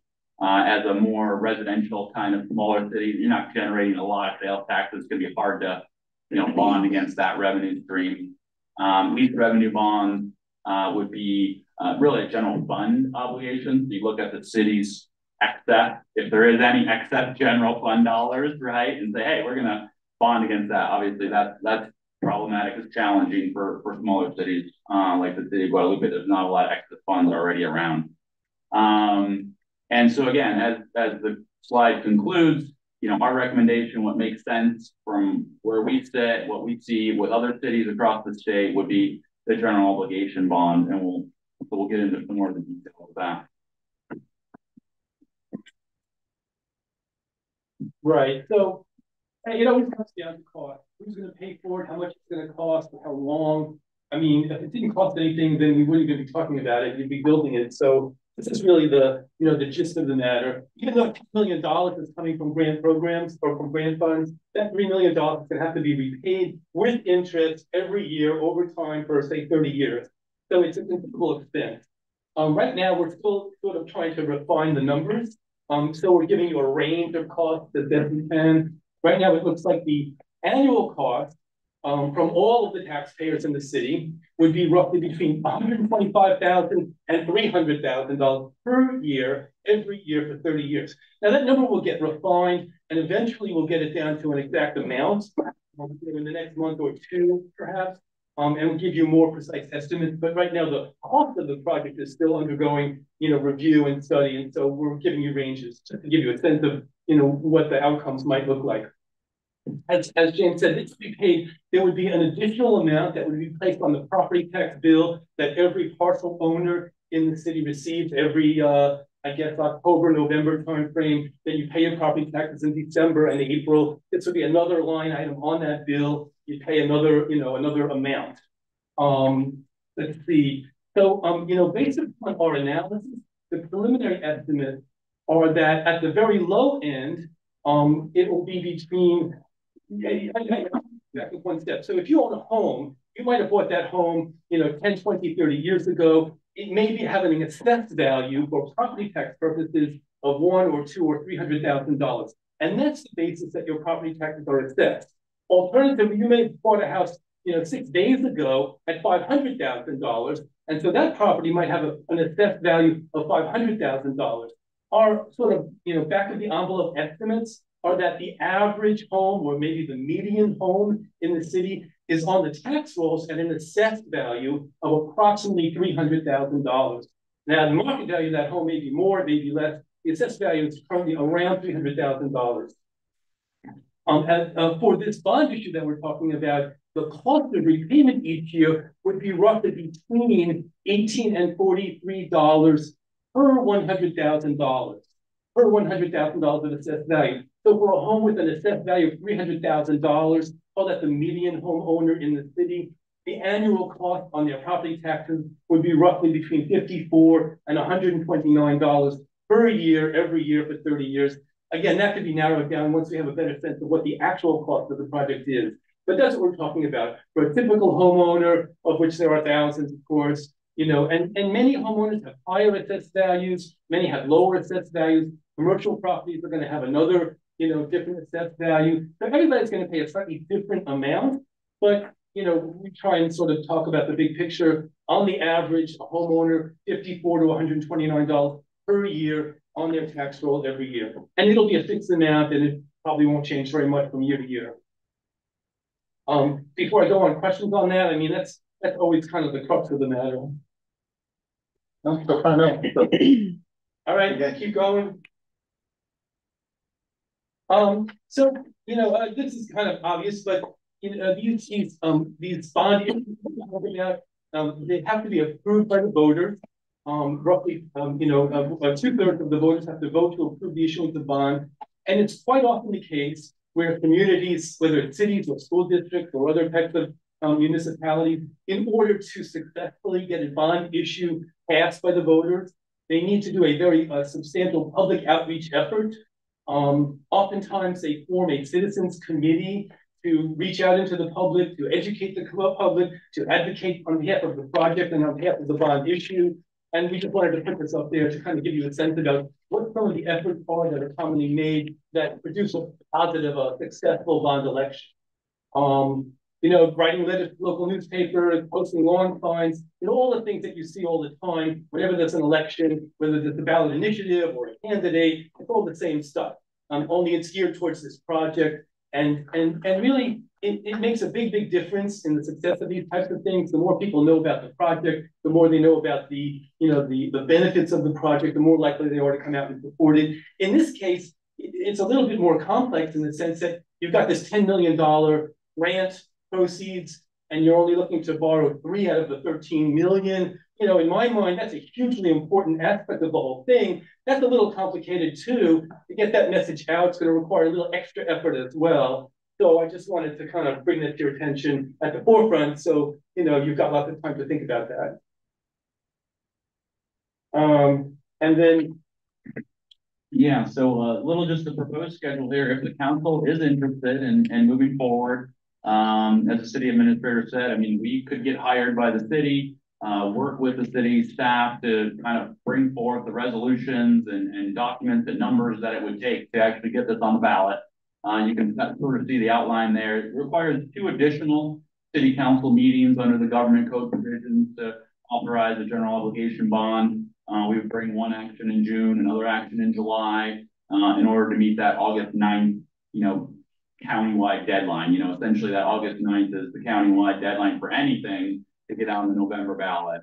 Uh, and so we we would be targeting that, um, and that's the November 5th election day we're looking at if we could get to the ballot, if the two thirds of the voters voted in favor, um, then we of course would have authorization to issue bonds for the city to finance this project. And we would envision that happening kind of in the beginning of next year, uh, January, February, in order to meet that March 2025 deadline on grant funding that, that otherwise expires. So uh, as we said, and just to reiterate, you know, it does require two thirds um, voter approval um, a general obligation bond. Districts actually are able to approve their bonds with 55%. It's the different part of the Constitution that they rely on. 55% uh, gets the school district, their GO bond. Cities require two thirds. Uh, and even before we get there, the June and July actions, you know, do you require two thirds of the count to move in favor of uh, each of those uh, actions. So essentially four out of five. And I think, you know, just makes sense. Um, something the whole city really needs to get behind. Uh, it's a pretty big lift to get that two thirds approval. Uh, and so it starts with the council.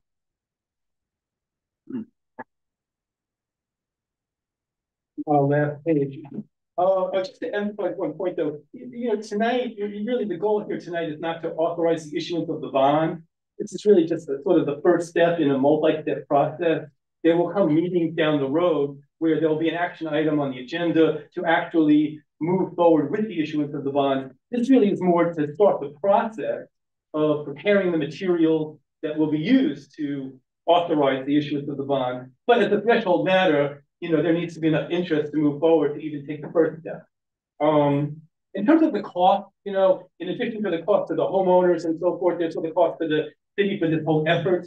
I just wanted to go through that in the interest of transparency. You know, we're, we're I'm going to provide some uh, consulting services, some legal services, financial services to get this whole process moving forward up to the point of placing the bond measure on the ballot, you know, in the proper manner, you know, come November, if that should be the will of the council.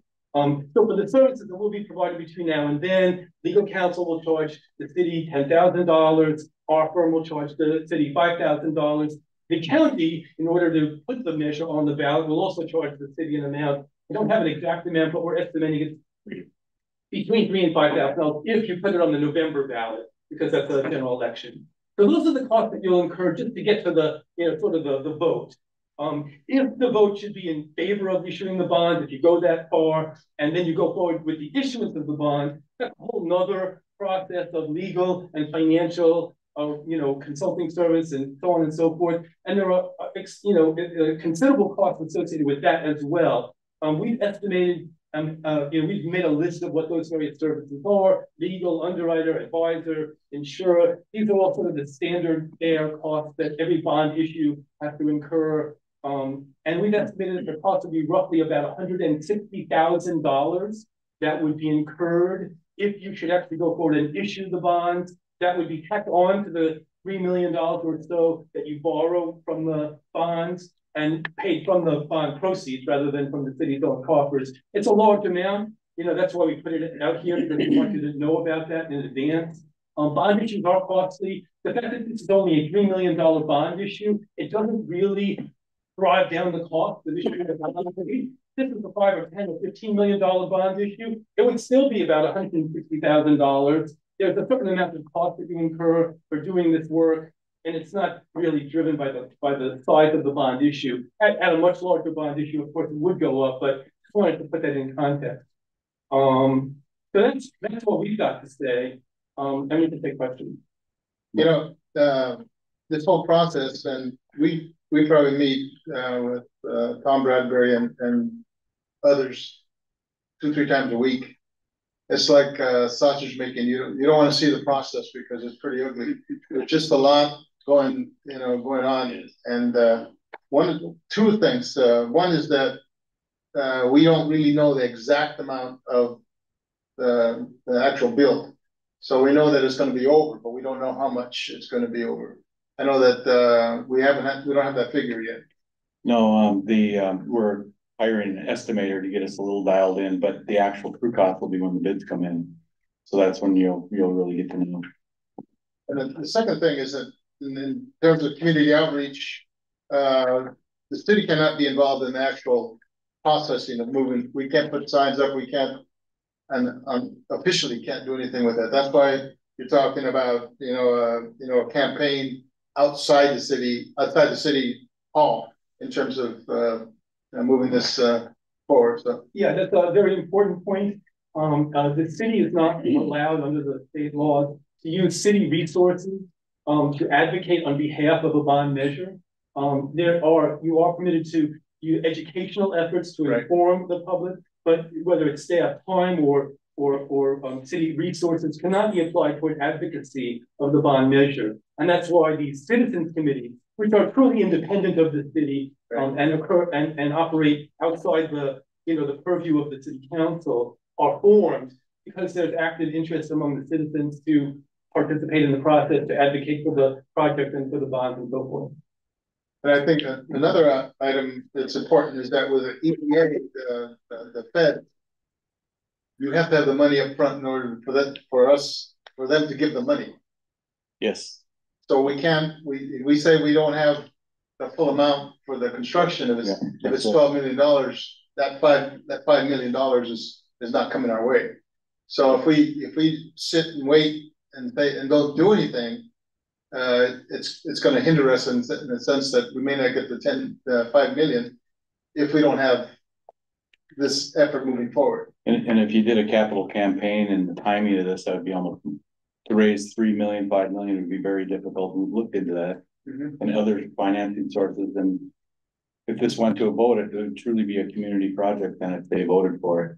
So that's the way I kind of look at this and bonding is done all over and I think when you look at the, uh, the costs per home, it's not extraordinary. And I think also, um, I, I shouldn't say that in terms of the homeowners, they say I'm crazy. But at the same time, you can see the economic benefit of this and the multiplier effect of having a theater in there and how that'll draw more into the community, which will be an economic, I think, sevenfold for every dollar spent.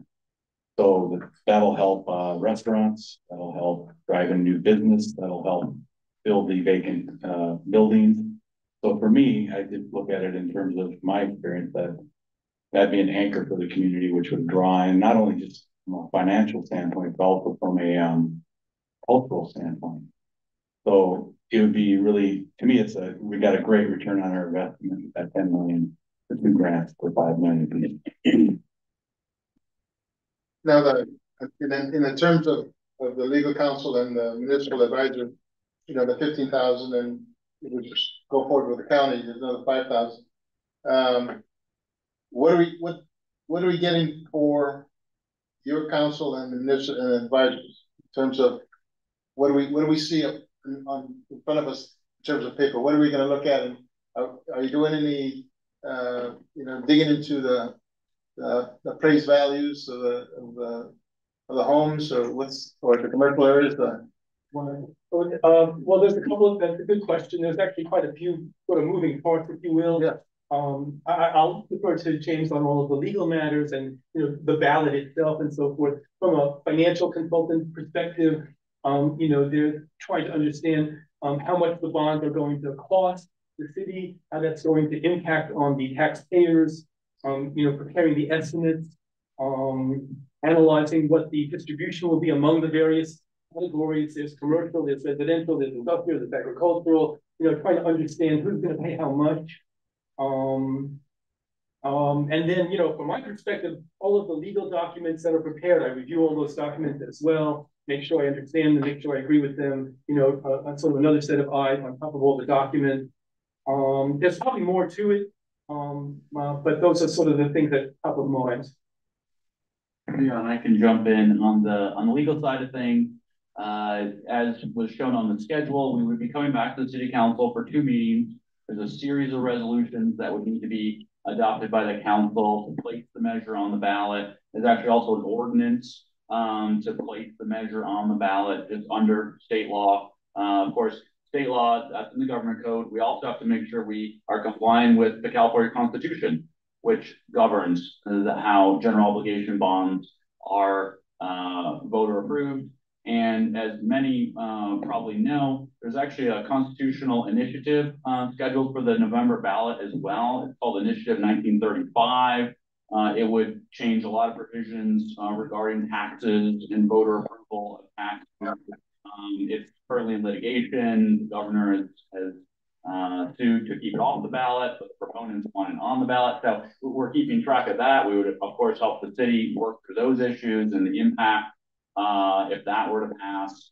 Uh, and then, as I mentioned earlier, there's there's that's on the state law side. There's a whole federal tax law side analysis that we at Jones Hall undertake as well. Uh, we understand from Tom Bradbury that so there's a nonprofit involved with the theater as well. So it's a successor agency owned property to be given to the city, the city owned, but also nonprofits involved. And we need to analyze that to make sure again uh, the tax exemption rules are followed, which again are for the benefit of cities, municipalities, not you know private entities, nonprofits, that kind of thing. So that that's where we come in on the legal side.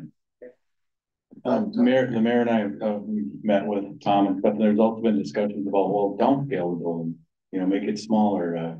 But the, why not build the building in a way that's for the community, that's robust? And the HVAC in the new has to support the old, the existing remodeling of the old has to stay the same. They're intertwined, ADA accessibility has to go out to the back and access, not from the front, but from the new, um. Um, the, the new addition, which then has an elevator. So they're really intrins- intrinsically put together and between the grant, so you got the complexity of two different types of grants. Um, the building itself is tied together, it's part and parcel, kind of together, you know, they have to be done together. Um, this is just a way to access mon- funding quicker, I think, and making sure that the project gets completed. uh, questions for, from the, the council? I know that, uh, there are several, uh, individuals that wish to speak or have, one of them is, uh, Picture. from, you know, you want to bring it up? You'll be the third. Um, one of the things, not in, where's Shirley's, uh, here. I'm going to, uh, Todd, will you read this? Yeah, sure. Um. So, so, um, Shirley, um, provided, Shirley Boydston provided a, reading. so an email and I'll read it out loud. Um, I strongly urge the council and any residents speaking tonight to carefully assess the proposal to contract with two firms to raise more funds towards the Royal Theater revitalization. If the bond proposal is agreed upon, that means 50 to seventy dollars annually on homeowners' property tax bills for the next thirty years. The usual life of a bond issue. Spending fifteen to twenty thousand to raise another five or more million for the theater project does not pencil out for property owners. Project has ten million plus in hand now, so why not proceed in phases as has been done with Leroy Park and other projects? The ten million plus will allow the upgrades, proper bathrooms, dressing rooms, and performers. The theater will then be ready to be rented for general use, speaker presentations, musical performances, dance programs, school graduations, and many other uses. The money from rentals, or maybe even a lease, will add to the building fund for the second phase. The three-story building, and that too also requires a careful look. Allen Hancock College has a well-planned and accredited film program for college age and adults. Why try to duplicate that here? And what is the need for a large kitchen? Lompoc City um, has a theater similar in size and age as, Roy as the Royal. Citizens there have been working for 10 plus years to bring it to life. We should do the same. Fundraise to augment the rental revenue before going into further debt on a long range project when in, in a shorter time the theater can be ready for use if slightly redesigned for the restoration in a shorter amount of time. That's it. Okay, um. Francis uh, Romero, gentlemen, you can take, a seat and then maybe you'll fire a question over at you. Well, good evening, Mayor, and welcome to Councilwoman Burnett. Uh, glad to have you here. My name is Francis Romero. I'm a former mayor of Guadalupe, among many other positions I've held over the last 25 years, 27 years. I, I don't have anything eloquent uh, prepared, but I have some random comments that I think you should consider. Um, I do not see that you've done any type of uh, voter sentiment survey and you have some time to do that between now and June. You have an opportunity to have a consultant at some cost do a random survey of your homeowners registered in both parties to see how people would look at a bond measure. If you're looking at really low numbers, maybe that gives you some pause.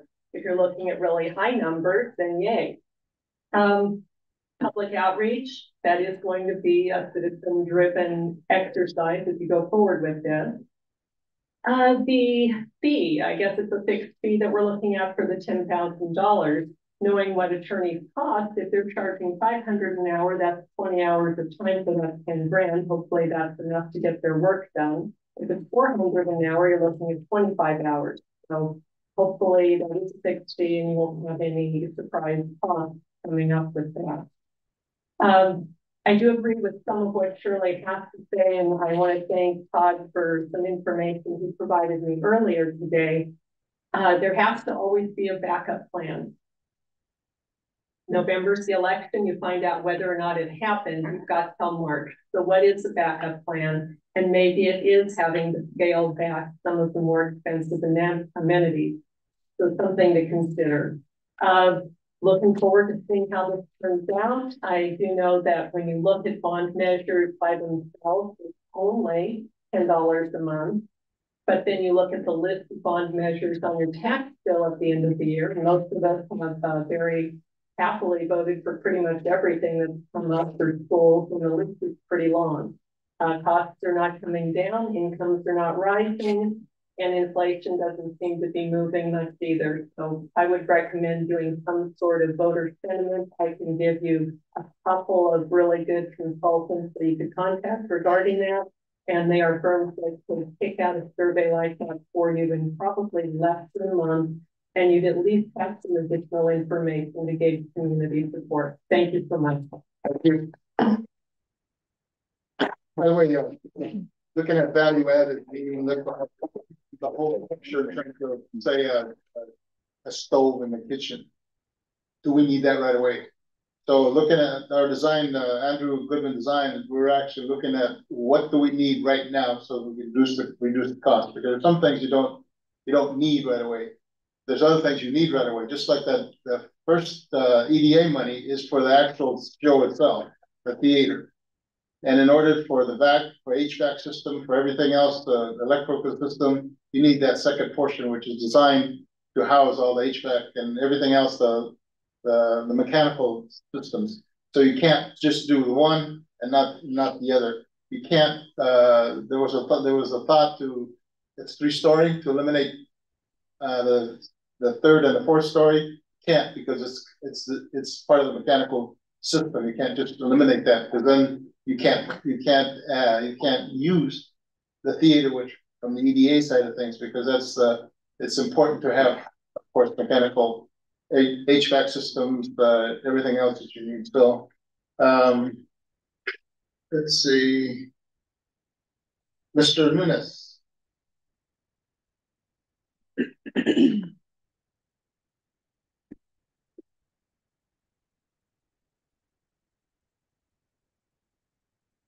evening.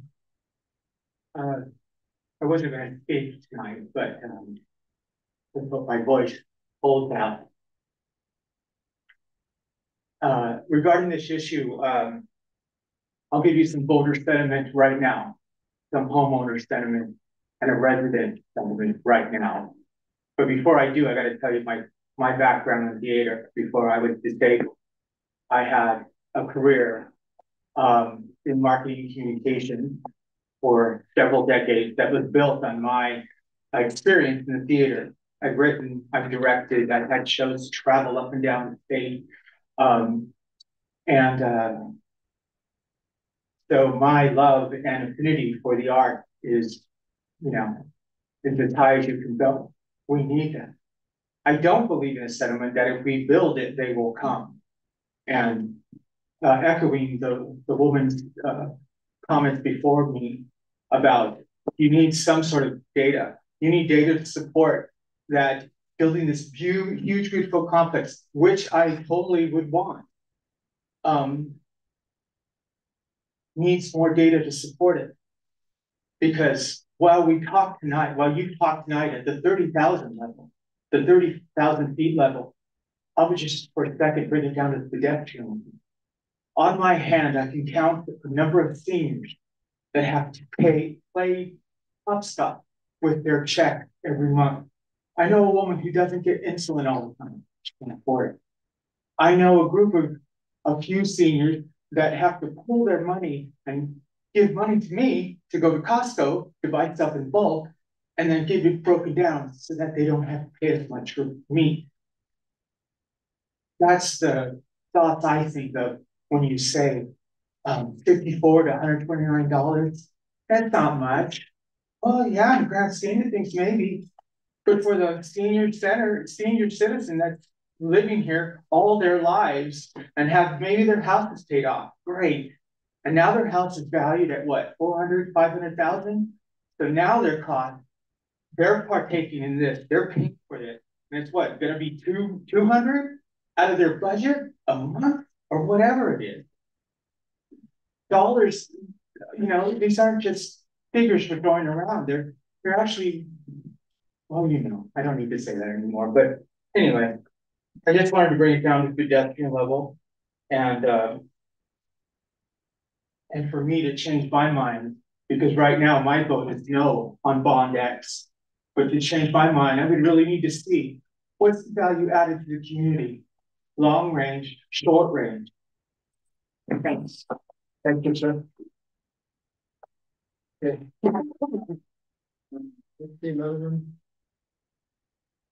Well, that was it. Any other, any, uh, any other individual wish to speak on this item? Okay, from, to the council, any, uh, thoughts? This, uh, again, this is like, um, making sausage, it's a tough one, because there's a, a lot of moving parts. Um, I think, uh, we have ten million bucks, ten million dollars, you don't get that every day. And personally, if, if we don't it's it's probably going to come in more than uh, it's going to come in more than 10 million. But I don't know how much uh, it's projected. Like it's talked about, maybe three to five million. That's a lot of money. Uh, where do you get that? Uh, you can't can't have fundraisers aren't gonna do it, you know, look, look at Lompoc, I think Shirley mentioned Lompoc. It's taking years for them to, you know, to generate, uh, resources to get that fixed, so. Uh, discussion from the council, Um, Todd, what is the percentage of Andrew Goodwin's plans are completed? Would you guess in there? Um, I think he's like ninety percent, I think he's hundred percent complete, but there's been some. Desire to, to amend them, you know, just based on some AV stuff, but for the most part, we had to. Use, remember, we used fund from the, the bond excess revenue to actually develop the plan. That then was, that allowed us to get the grant by providing those, uh, civil engineering and architectural estimates. So yeah, the, uh, actual, uh, drawings are pretty, pretty well complete. Yeah, they're pretty much done, I talked about value added, and one of the things was, we were looking at that, um. Uh, the area, you know, a walking, not the walking area, but the, not the gazebo, but, uh, yeah, the amphitheater. Amphitheater. To eliminate that, uh, that, we don't know the cost, specific cost. We, we do know that, is that, uh, um, Andrew has that information. Yeah. I think it was unique with that, because I think, I believe when we qualified for that, um, keeping the Royal Theater in that Art Deco nineteen thirty-nine, um, front facade, but upgraded all the way through, so I mean, just to tie that in. and everybody knows with the rising, uh, you know, cost of work, it's, it's, it's, it's exuberant crazy, you know. But we gotta take advantage of something with that money sitting. Yeah, and again, I mentioned that, uh, the, the feds, EDA is saying if you don't have the money up, if you don't have the money in the bank, you're not gonna get the, you're not gonna get the five million. Um. I hate to lose that. Any comments, the other, If you lose that, you lose the project. yeah, you lose the project. I know, um, a lot of time went into the design for everything that was there, but. As. A community member and homeowner was like, in just two years, we just passed two more bonds. For them to build a new school, you know, price of materials and everything went on, and.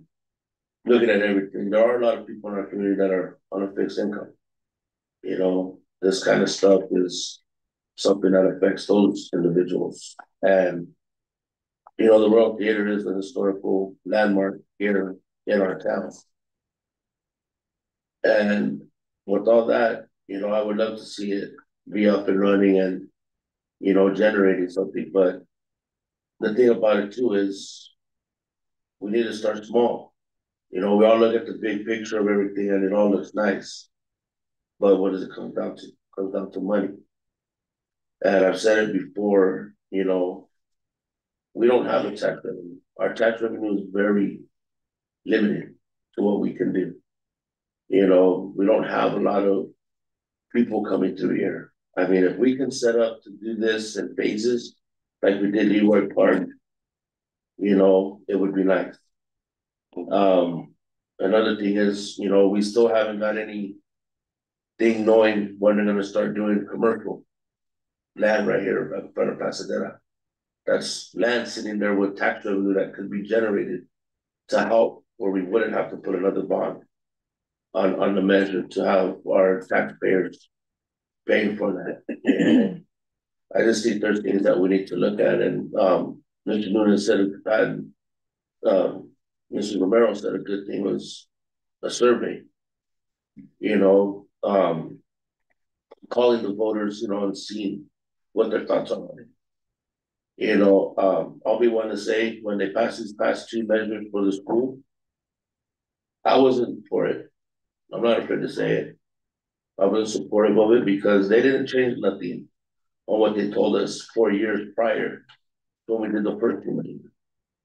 And the people were told this, oh, because we never done school, you know, and it's something that we need to look into is, you know, getting the voters input on it for another bond to be added to the property tax for the next thirty years.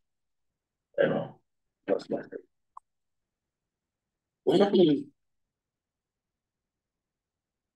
gonna say something or? No. No. I think this is a difficult decision, because we only have one year to make that, raise two million dollars. That's. I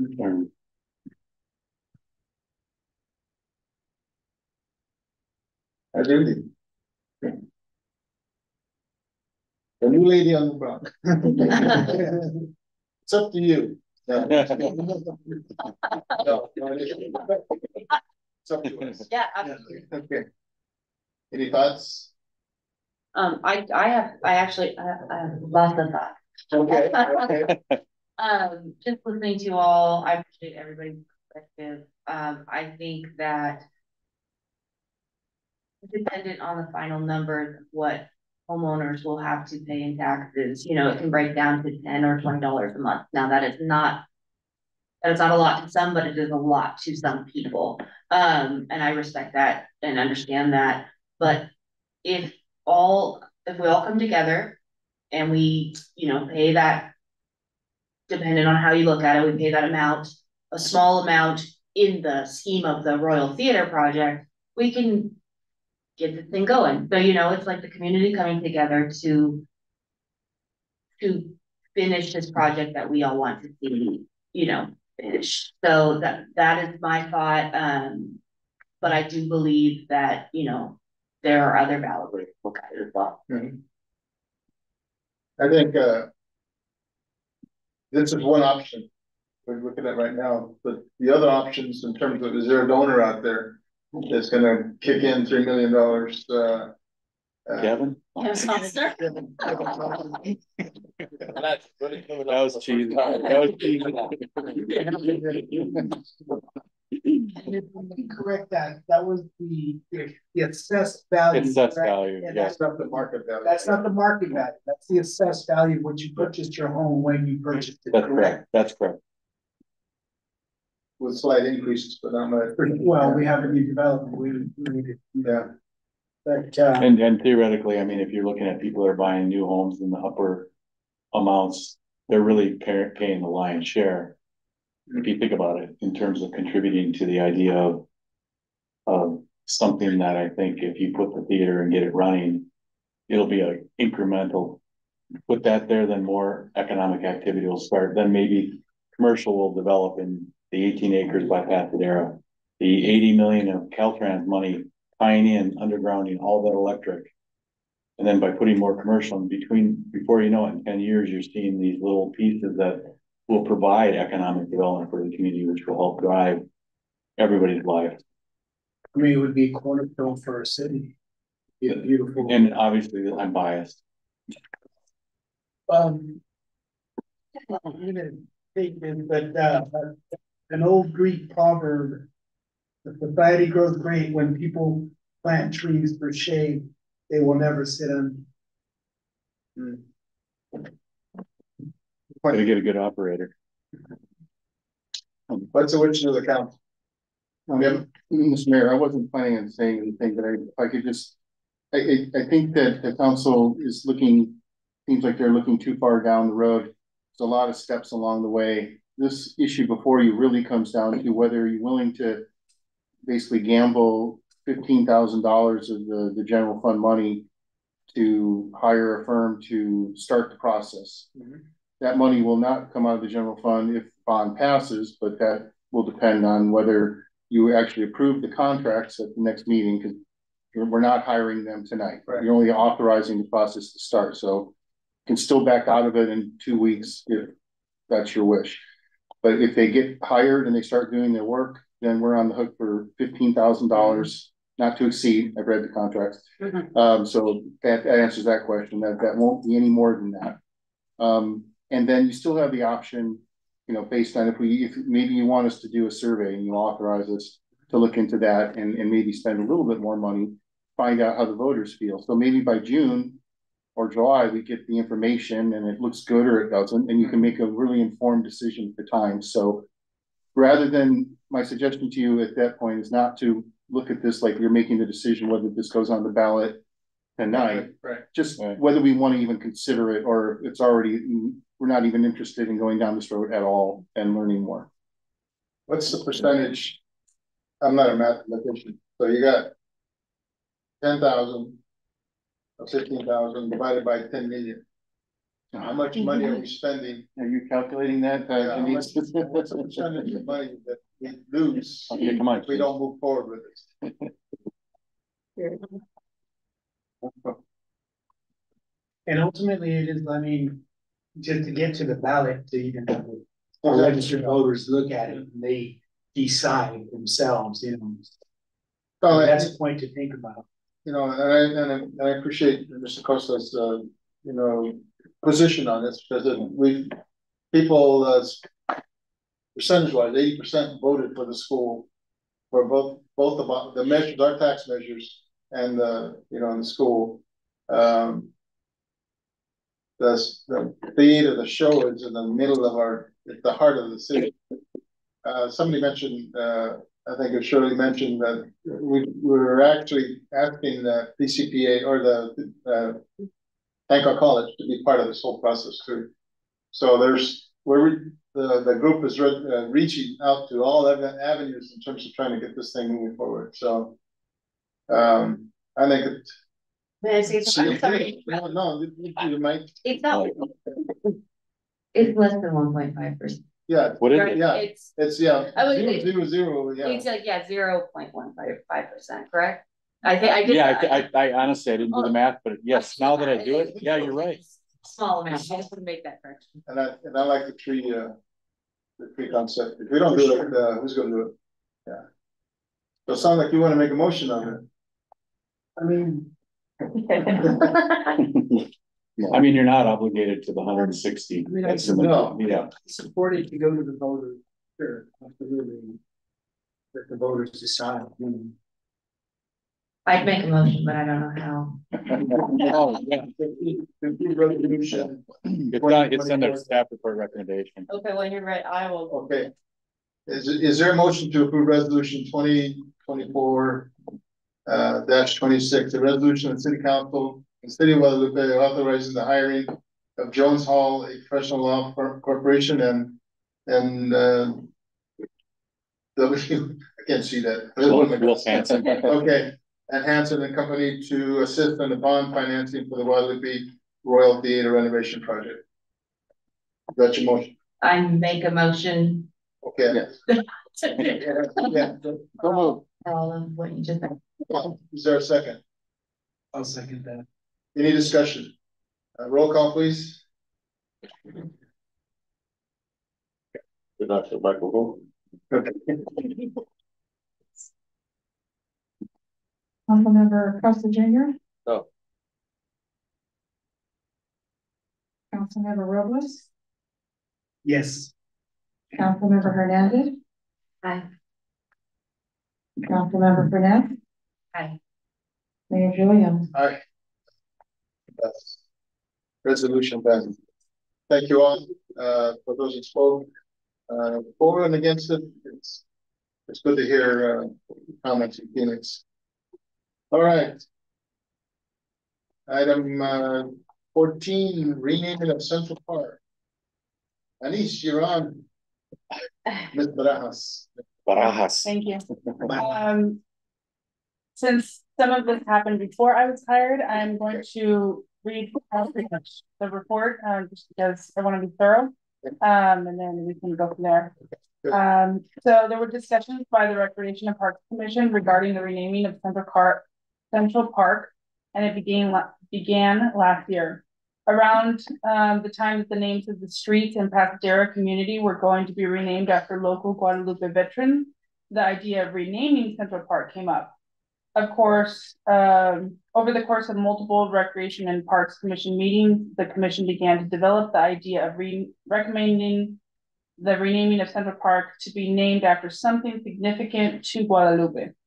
During the March meeting last year, Commissioner Emily Dryling uh, mentioned the March, that March is Women's History Month and recommended to the commission that Central Park be renamed after a Guadalupe female of significance. Over the course of the next few meetings, the commission discussed rather than naming it after one single female, to rename it Las Mujeres Park to recognize women as a whole. In order to still recognize an individual female, the commission recommended having a woman of the year nominated by the community to be recognized each year. Um, changing the name of Central Park to Las Mujeres Park would not only allow the new name uh, along with the renovation of the park itself, but also recognize the women of Guadalupe who have made uh, positive impact on the community and its members. Um, the process uh, of selecting the recipient for the Mujeres Park Woman of the Year Award and inscribing her name on a professional memorial plaque at the park uh, would be reviewed and discussed in the future. Thank you. Any comments before we open up? Uh, and there's a several, four uh, individuals who wish to comment on this. Um, we'll start with a, a written comment, a written correspondence from Shirley. Uh, you know, anyway. I'll read it. I can see it. It's from Shirley Boydston, uh, uh, received today via email. The renaming of the now Central Park needs much thought before a decision is made. Something significant as the agenda narrative says that would not be another person's name. We have O'Connell Park and Leroy Parks already. The new name should be something significant, yet generic and, and pertinent. Las Mujeres may be viewed as sexist, no male, or even racist in today's culture. Naming of an, an annual woman of importance is to be commended, but not in conjunction with a park. A park has been in that area since at least 1920, at least uh, a park has been in that area since 1926 when the little jail was built there and prior elevated tank was completed in 1928. It will be between 20, 2026 and 2028 when the park upgrades are completed. How about uh, the name Centennial Park, which will note an era in the city's growth and uh, city's citizen involvement, Shirley Boydston. Uh, next uh, person, uh, Emily uh. Uh, please come up. Thank you. All right, second time's the charm, right? There you go. All right, we'll take two. Uh, so I know many of you already. My name is Emily Dryling, and I am one of the Parks and Recreation uh, commissioners here, and I do have two of my other commissioners joining me uh, here today as well. Las Mujeres, as we were talking about it, one of the things that is very consistent across our community is that our community wants a sense of pride. We want the sense of belonging. We want the sense of being able to contribute and to be a part. And so thinking through how we came up with Las Mujeres was talking about in our entire city, we have one street named after a female. It's not even in existence yet, but it's going to be in Pasadera phase three. All of our parks are named after um, different men in our community as well. And if you zoom out of Guadalupe and look at the state of California, only two state parks are named after women and only one national park in California are named after women. And so we really thought this would be a great opportunity to rename a park that can be more inclusive of our total population here in Guadalupe I'm absolutely not saying that the men that the streets and the parks are named after haven't done significant contributions, but this is an area that we are lacking in representation, and it would give us the opportunity to really be inclusive and not only name it after one person, but someone on a yearly basis, they have the opportunity to continue to evolve and continue to recognize those contributions over the course of the year. So as the Parks and Recreation Commission, we did want you to consider this recommendation as something that would really put Guadalupe on the map. Um, it is something that is forward thinking. It's something that we to increase representation. And just thinking as March is Women's History Month, as we move into August, that's Women's Equality Day. Uh, this is an opportunity for us to help educate, especially the young girls in our community. Like we have a park here in our community, and it's one of the very few that are actually represented in the state of California, and that it gives us the opportunity to be able to showcase really 50% of our population that's not yet been represented um, in our other street names and parks. So thank you for that. Thank you. Thank you. Uh, Mrs. Uh, Francis Romero.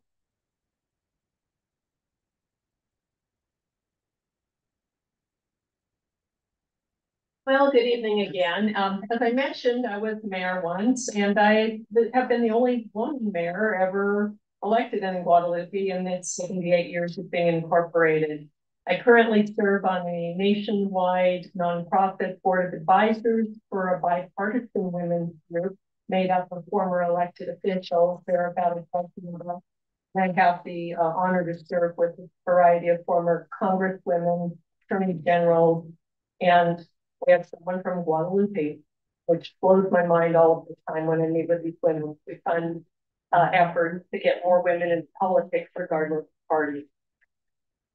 I have to say I'm a little torn on this one as the former park commissioner for both the county and the city because there is a lack of representation for women. But I don't know that I, I tend to agree with Shirley that having a gender specific name on a park, I'm not I'm not quite there, but I do think that a very nice improvement at Centennial Park, if it were to be renamed Centennial, as Shirley suggests, with a perpetual uh, monument and perhaps an improved area with a gazebo where uh, women, moms, and their children could go and uh, reflect would be a, a, nice thing to do.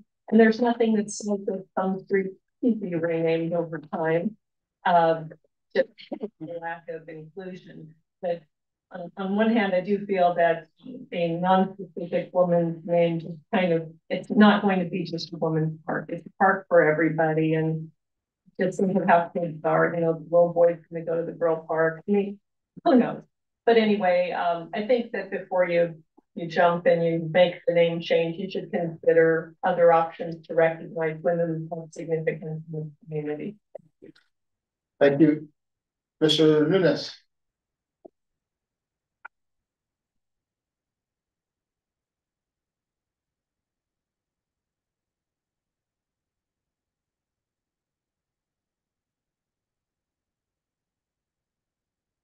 That's a lot of the planning meetings for this um, reorganization of the park, redevelopment of the park. And I remember that one of the ideas that was espoused was to have a centralized gathering I assume they took that notion from the name uh, Central Park, why it was called that and what, why it's specifically um, named that. Leroy Park, of course, is named for the Leroy family who, who in the deed to the city or to the emerging town, it specified in perpetuity that the land would always be used for the um, for town activities and for town um, collegialism. I'm not. I, find myself, uh, Mrs. Romero. We didn't. We didn't compare notes, but I'm also torn as a member of the historical society, and and I work with the cemetery board now. I am up to my eyeballs in history and the beautiful, wonderful tapestry that Guadalupe is. And behind every great man, there is a great woman, Petra Concepcion. You know, she uh, she came here in the 1930s and was here her entire life from Mexico and was in, intrinsic to the life at the church and the life in the senior center. In the 80s, she was going to the senior center to serve lunch to other other uh, seniors in her 80s. You know, well, other women that I can think of, the women that I grew up with, the women's story that I told last February. There's such a beautiful, beautiful tapestry here. But to, to use the park to honor them, I think, I think we could do better. We could have an annual affair at the park, and we can honor a, a we can honor several women every year that are part of this community. Maybe they didn't build a, a building and maybe they weren't part of this and maybe they didn't head this committee. Maybe they were just living their lives and raising their children and part of the community. And and so I I would suggest or put forward that we call it the Guadalupe Park. It's supposed to be for everybody and for the whole community. And yet we can already hear some marketers going, well, there's problems with that. And people would say Guadalupe's Park, and then they would think Leroy Park. No, don't get over it anyway, uh, those are my thoughts. And, and I also did want to mention too, if you do change it and you name it for an individual, I assume that there's signage involved and there's an effort to let the world know that you've done that and, and what costs, how, the, how would that cost be absorbed and who would be paying for that and who would be organizing that. And um, again, honoring Guadalupe, the women of Guadalupe, past, present, and the future is um, something that should be done. all the time, but thank you for your. You're welcome. Thank you. Anybody else out there? Speak? And the commissioners? Uh, Emily? I go ahead. Yes. Um. Yeah. Um, yeah, I, I looked at the uh, opposition and particularly the uh, email that was written on this. And I took exception to two things. One, that this is somehow sexist. And the other is somehow racist. I mean, we're in a male dominated world, let's face it. Anytime we get an opportunity to think out of the box, to leave something up to a woman, and in this case, generally, women in general, I think it's a great opportunity. And I think in terms of the racist part, in that case, if we follow that logic, let's start changing Las Animas part. Let's change all these other parts that have, you know, Latino or Hispanic names. It just doesn't uh, resonate with me. And I really uh, think you should consider naming the park. That's what. Thank you. Thank you. Thank you. By the way, uh, that Shirley mentions in nineteen twenty-eight, it was, uh, it was a park, it, it was a, a pond. I used to sh- shoot, uh, frogs down there. So, uh, um, I don't even know when we called it Central Park, and I was talking to Phil. what was the history? Yeah, but you can't shoot. I used to frog in Spanish. Rana. Rana. Rana. Rana. Rana. Um, I'll let other folks chime in Grana. before I chime in. Um, as a woman of color, and we uplift women. Um, I grew up here in the city of Guadalupe, um, and my mother told me I couldn't speak Spanish, but if I wouldn't be excluded from certain things at school. Um, and I think it's really important that we empower girls, um, strengthen our economies, um, making sure that they are also other people. So the more that we can do them from women, I am You good with it? I agree with her.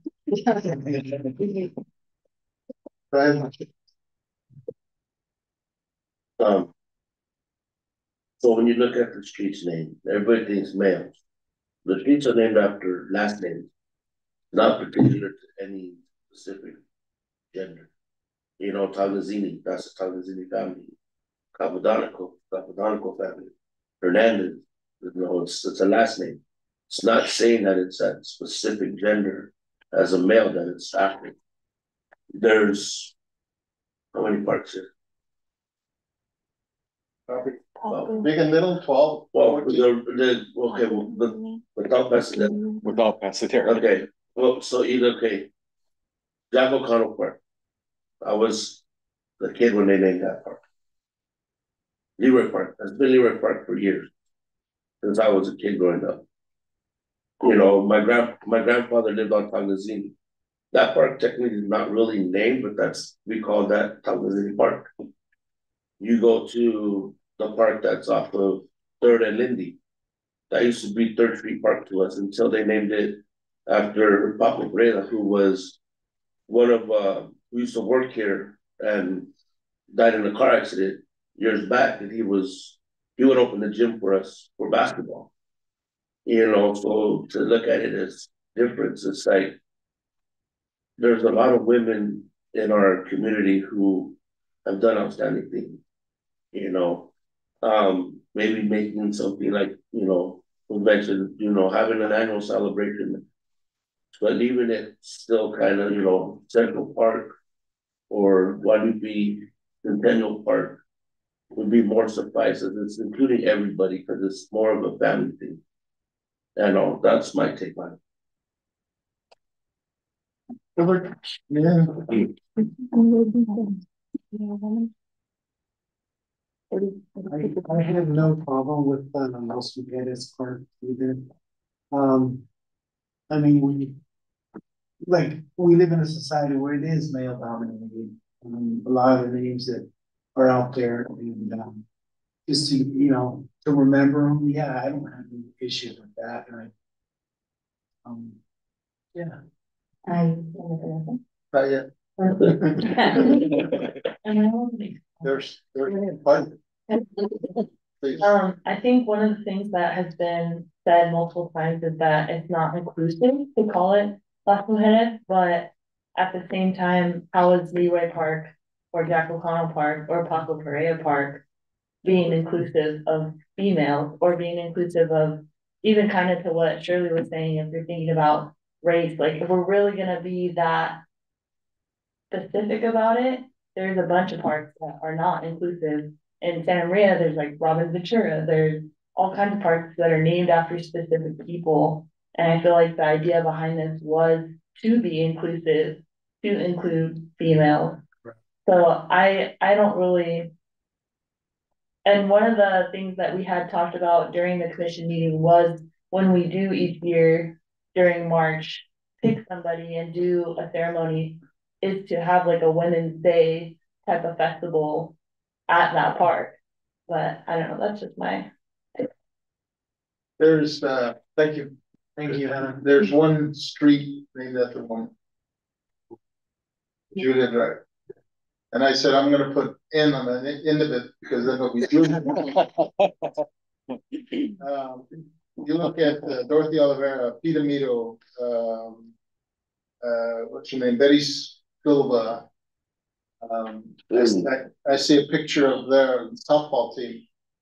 That we used to play, that they used to play, not me, we used, they used to play, this is back in the thirties. League of their own. They had, they would, there was a, they played against the Wax in the, in Camp Cooke and beat them softball. And, um, um, I think that it's time, uh, it's time for us to show the community that we, and that we do respect women. And because we do. And, uh, now you can make a motion. I make a motion to adopt resolution number twenty twenty-four dash twenty. Is there a second? I said, I second it. Okay, any discussion? Uh, roll call, please. Councilmember Carlson Junior, Aye. Councilmember Robles. Aye. Councilmember Hernandez. Aye. Councilmember Cornell. Aye. Mayor Julian. Thank you. Uh, if any others? Three. Okay. can do something in the right theater. But Hannah, that means you need to come back every year. I will. Don't want her name on it. I think the first one should be Amelia Viegas. I want that in- Yeah, did, did you hear that? She wants it in the minutes. Let's see. She wants it in the minutes. Uh, Item fifteen, future agenda item. Yeah, Council, Just the, um, the next, um, what's on this slide presentation will be the approves resolution nes- necessity to issue bonds. Or wait, no, I'm sorry. That's not until June. Forget it. I jumped ahead. nothing, Nothing. Um, Oh. item sixteen, uh, announcements, council activity reports, and Jean, uh, Councilman. I got a couple of things. All right. What? Yeah. I got. Um, so. I wanted to say as I did a tour of the wastewater plant. And I encourage my other fellow council members to. Talk with uh Devin or Dave and go out there and kind of see the process that go through with it. You know, it's not as bad as you think, sir. You can go out there. and- Oh, I've been through many of them. Have you been to ours? Yeah, but not, not, but I've been through other mechanical systems as well. I, I, I, it was pretty interesting to see a lot of the stuff that we have there. That can really help, that needs some upgrading on. Uh, and things, and I told them I, I'd come back and. Let my fellow council members know that, you know, you ever get a chance, take a tour to kind of see. The process, and they showed me. How the process goes, and I'll tell you, man. That last process, when they pulled out a sample of the water. That gets re put out for, you know, it's not potable water, so it goes out for the land and stuff. How clear it is, I was amazed at. The stuff that they pull from there to do is pretty cool. And then my second thing is, I know. Um, they're talking about a fundraiser going on at the Red Barn this weekend, but there's also the. It's called Steam Club from McKenzie We'll also be having a fundraiser this weekend at the Social Club. From, I believe it's twelve to five. And be just be nice to have some of our staff and um community members go out. I went to the one they did a few months back, wasn't very well advertised about, but it's something that's pretty cool, because uh. The teacher that does it is uh one of the teachers, the science teacher. Uh, at McKenzie, and he uses this money to help take the kids down to LA for field trips, uh, to go to like, um, art museums and stuff like that. So it was pretty interesting, pretty cool. So just, those are the two things. What's STEAM, uh, stand for? Yeah, I, I just know it's, uh, the A is for art, but it's like technology. Um. Math is one of them, engineering, arts and math. Yeah, they, it used to be STEM, but they put, they made it STEAM, so now they. Oh, okay. Art is that, There's a little more steam on it. yeah, so that's what, so it'd be pretty, uh, pretty nice. So that's one to five at social. club. Well, the five, social. What are you gonna have? Uh, whatever the social club. Is. Okay. And so part of the proceeds Wine? go, yeah, wine, uh. The kids is for. No, the kids won't be there, but it's, uh, part of the proceeds go To that. to the, okay, to that cool. program to help Okay. fund for, uh, the trips they bring. Ethan? The mobile market will be here March thirtieth, uh, this weekend. I don't know the hour that we did. Rain or shine? Okay, around that time. Um, we'll post it on social media. Uh, the Kiwanis also just started their fundraising, also to support the Guadalupe community. Be hosting their fashion show in April. Excuse me, can you repeat the date for that? The mobile market? Yes, please. Yeah. The mobile market will be. March thirtieth from one to three. Thank you. You know, anything? Yeah, um, Bobcats, um, wrestling programs. Our numbers have actually exceeded, um, last year was our first year program, we're at twenty-five. Right now, we're at fifty-nine. I've got tons of girls that are coming out for wrestling and, and guess what? They're, they're getting it. Um, they're getting on it. We got some grit. Um, they're learning what hard work is and discipline. Um, they're sweating quite a bit. I got guys out there, boys, girls, um. We're promoting, uh, higher education. We're make, we're, we're, uh, making it mandatory, you know, with the school program at the minimum two oh. No Fs, they can't have, uh, no Us, unsatisfactory behavior. So we do have a first tournament on the thirteenth at Mesa Middle School. And it will be all girls and some of our novice boys who've never stepped on a mat. And I think that alone is still about close to forty. So it's exciting. Uh, it's gonna be a quick month and a half and, and we have, uh, three tools here at City Hall, so I want you guys to come out and check them out and, uh, gotta coordinate with, uh, chief if we can get a standby out there. Those dates, uh, should be exciting. That's it.